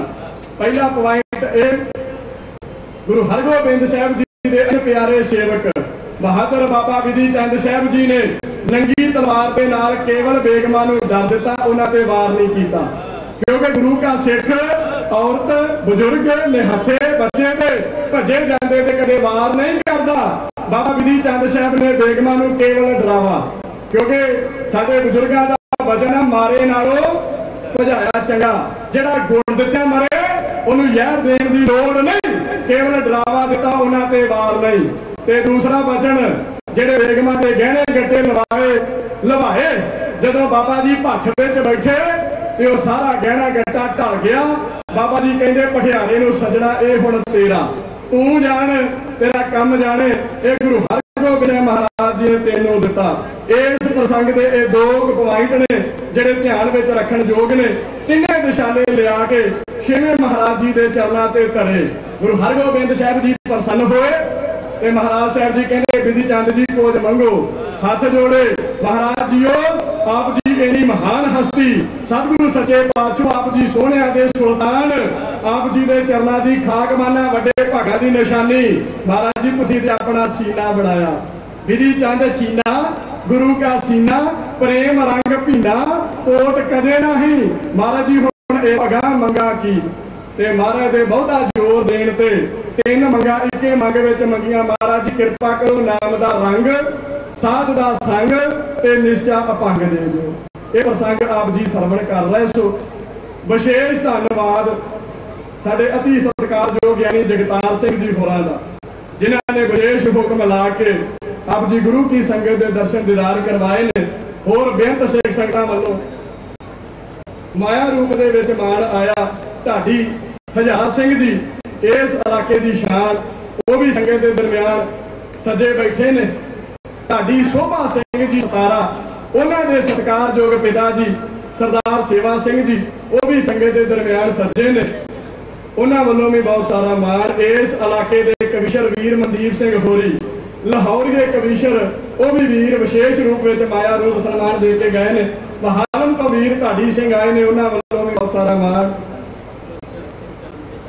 ਗੁਰਚਰਨ ਸਿੰਘ ਜੀ ਦੇ ਚੰਨ ਉਹਨਾਂ ਦੇ ਚਾਚਾ ਜੀ ਸਰਦਾਰ ਬਲਵੀਰ ਸਿੰਘ ਹੋਰਾਂ ਵੱਲੋਂ ਮਾਇਆ ਰੂਪ ਵਿੱਚ ਬਹੁਤ ਸਾਰਾ ਮਾਣ ਆਇਆ। ਵੀਰ ਗੁਰਚਰਨ ਸਿੰਘ ਚੰਨ ਦੇ ਭਾਈ ਸਾਹਿਬ, ਸਰਦਾਰ ਗੁਰਦੀਪ ਸਿੰਘ, ਉਹਨਾਂ ਵੱਲੋਂ ਵੀ ਮਾਇਆ ਸਨਮਾਨ ਬੇਅੰਤ ਅਸੀਸਾਂ ਆਈਆਂ। ਸਰਦਾਰ ਗੁਰਪ੍ਰੀਤ ਸਿੰਘ ਹਵੇਲੀ ਵਾਲੇ, ਉਹਨਾਂ ਵੱਲੋਂ ਮਾਨ ਸਨਮਾਨ ਆਇਆ। ਮਹਾਰਾਜ ਜੀ ਅੰਤਰ ਜਾਮੀ ਸਵੇਦ ਜਾਣਾ ਤਾਂ ਕਿਸ ਪੈ ਆਖ ਸੁਣਾਈ ਮਹਾਰਾਜ ਜੀ, ਸਭਨਾ ਦੀਆਂ ਝੋਲੀਆਂ ਬਰਕਤਾਂ ਨਾਲ ਭਰ ਕੇ ਤੋਰਿਓ। ਸਭਨਾ ਦੀਆਂ ਸ਼ੁਭ ਭਾਵਨਾਵਾਂ ਨੂੰ ਭਾਗ ਲਾਉਣ। ਸਤਿਗੁਰੂ ਸੱਚੇ ਪਾਤਸ਼ਾਹ ਜੀ ਕਿਰਪਾ ਕਰਨ। ਆਪ ਜੀ ਦੇ ਚਰਨਾਂ ਵਿੱਚ ਬੇਨਤੀ ਸਾਰੇ ਜਥੇ ਦੀ। ਅੱਜ ਰਾਤ ਦੀ ਹਾਜ਼ਰੀ ਵੀ ਆਪ ਜੀ ਦੇ ਕੋਲ ਹੈ। ਸਮਾਂ 11:30 ਤੋਂ 12:30 ਇਸੇ ਅਨੰਦਾਂ ਦੇ ਸਹਿਤ ਆਪ ਜੀ ਨੇ ਸੱਜ ਦੀਵਾਨ ਵਿੱਚ ਵੀ ਜਥੇ ਨੂੰ ਮਾਣ ਬਖਸ਼ਣਾ। ਆਪ ਜੀ ਗੁਰੂ ਕੀ ਸੰਗਤ ਦਾ ਧੰਨਵਾਦ। ਤੁਹਾਡਾ ਆਪਣਾ ਜਾਂ ਜਦੋਂ ਜਿੱਥੇ ਯਾਦ ਕਰੋ, ਹਾਜ਼ਰ ਹੋਣ ਦਾ ਯਤਨ ਕਰਾਂਗਾ। ਦਾਸ ਗਿਆਨੀ ਗੁਰਕੀਰਤ ਸਿੰਘ ਡਬਲ ਐਮਏ ਸਾਥੀ ਪੰਜਾਬ ਦੀਆਂ ਬੁਲੰਦ ਆਵਾਜ਼ਾਂ, ਹੀਰਾ ਸਿੰਘ ਪੰਨੂ, ਮੁਗਲ ਚੱਕ ਪੰਨੂਆ ਜਤਿੰਦਰਜੀਤ ਸਿੰਘ ਪੰਛੀ, ਢੱਡੇ ਆਉਣ ਵਾਲੇ ਜਥੇ ਨੂੰ ਜਿਉ ਆਇਆ, ਬੈਠੋ ਸੱਜ ਕੇ ਫਤਿਹ ਬੁਲਾਓ ਗੱਜ ਕੇ ਆਖੋ ਜਿਉ ਵਾਹਿਗੁਰੂ ਜੀ ਕਾ ਖਾਲਸਾ, ਵਾਹਿਗੁਰੂ ਜੀ ਕੀ ਫਤਿਹ। ਸਾਊਂਡ ਵਾਲੇ ਵੀਰਾਂ ਦਾ ਬਹੁਤਾ ਧੰਨਵਾਦ। ਮੈਨੂੰ ਨਾਮ ਵਿਸਰ ਗਿਆ ਸੀ। ਇਸ ਵਾਸਤੇ ਜੇ ਸਾਊਂਡ ਚੰਗਾ ਹੋਵੇ ਤੇ ਸਾਥ ਸੋਹਣਾ ਬਣਿਆ ਰਹਿੰਦਾ ਰਾਤਰੀ ਦੇ ਦੀਵਾਨ 'ਚ ਵੀ ਇਦਾਂ ਹੀ ਆਨੰਦ ਮਾਣਨ ਦਾ ਯਤਨ ਕਰਨਾ ਜੀਓ। ਵਾਹਿਗੁਰੂ ਜੀ ਕਾ ਖਾਲਸਾ, ਵਾਹਿਗੁਰੂ ਜੀ ਕੀ ਫਤਿਹ।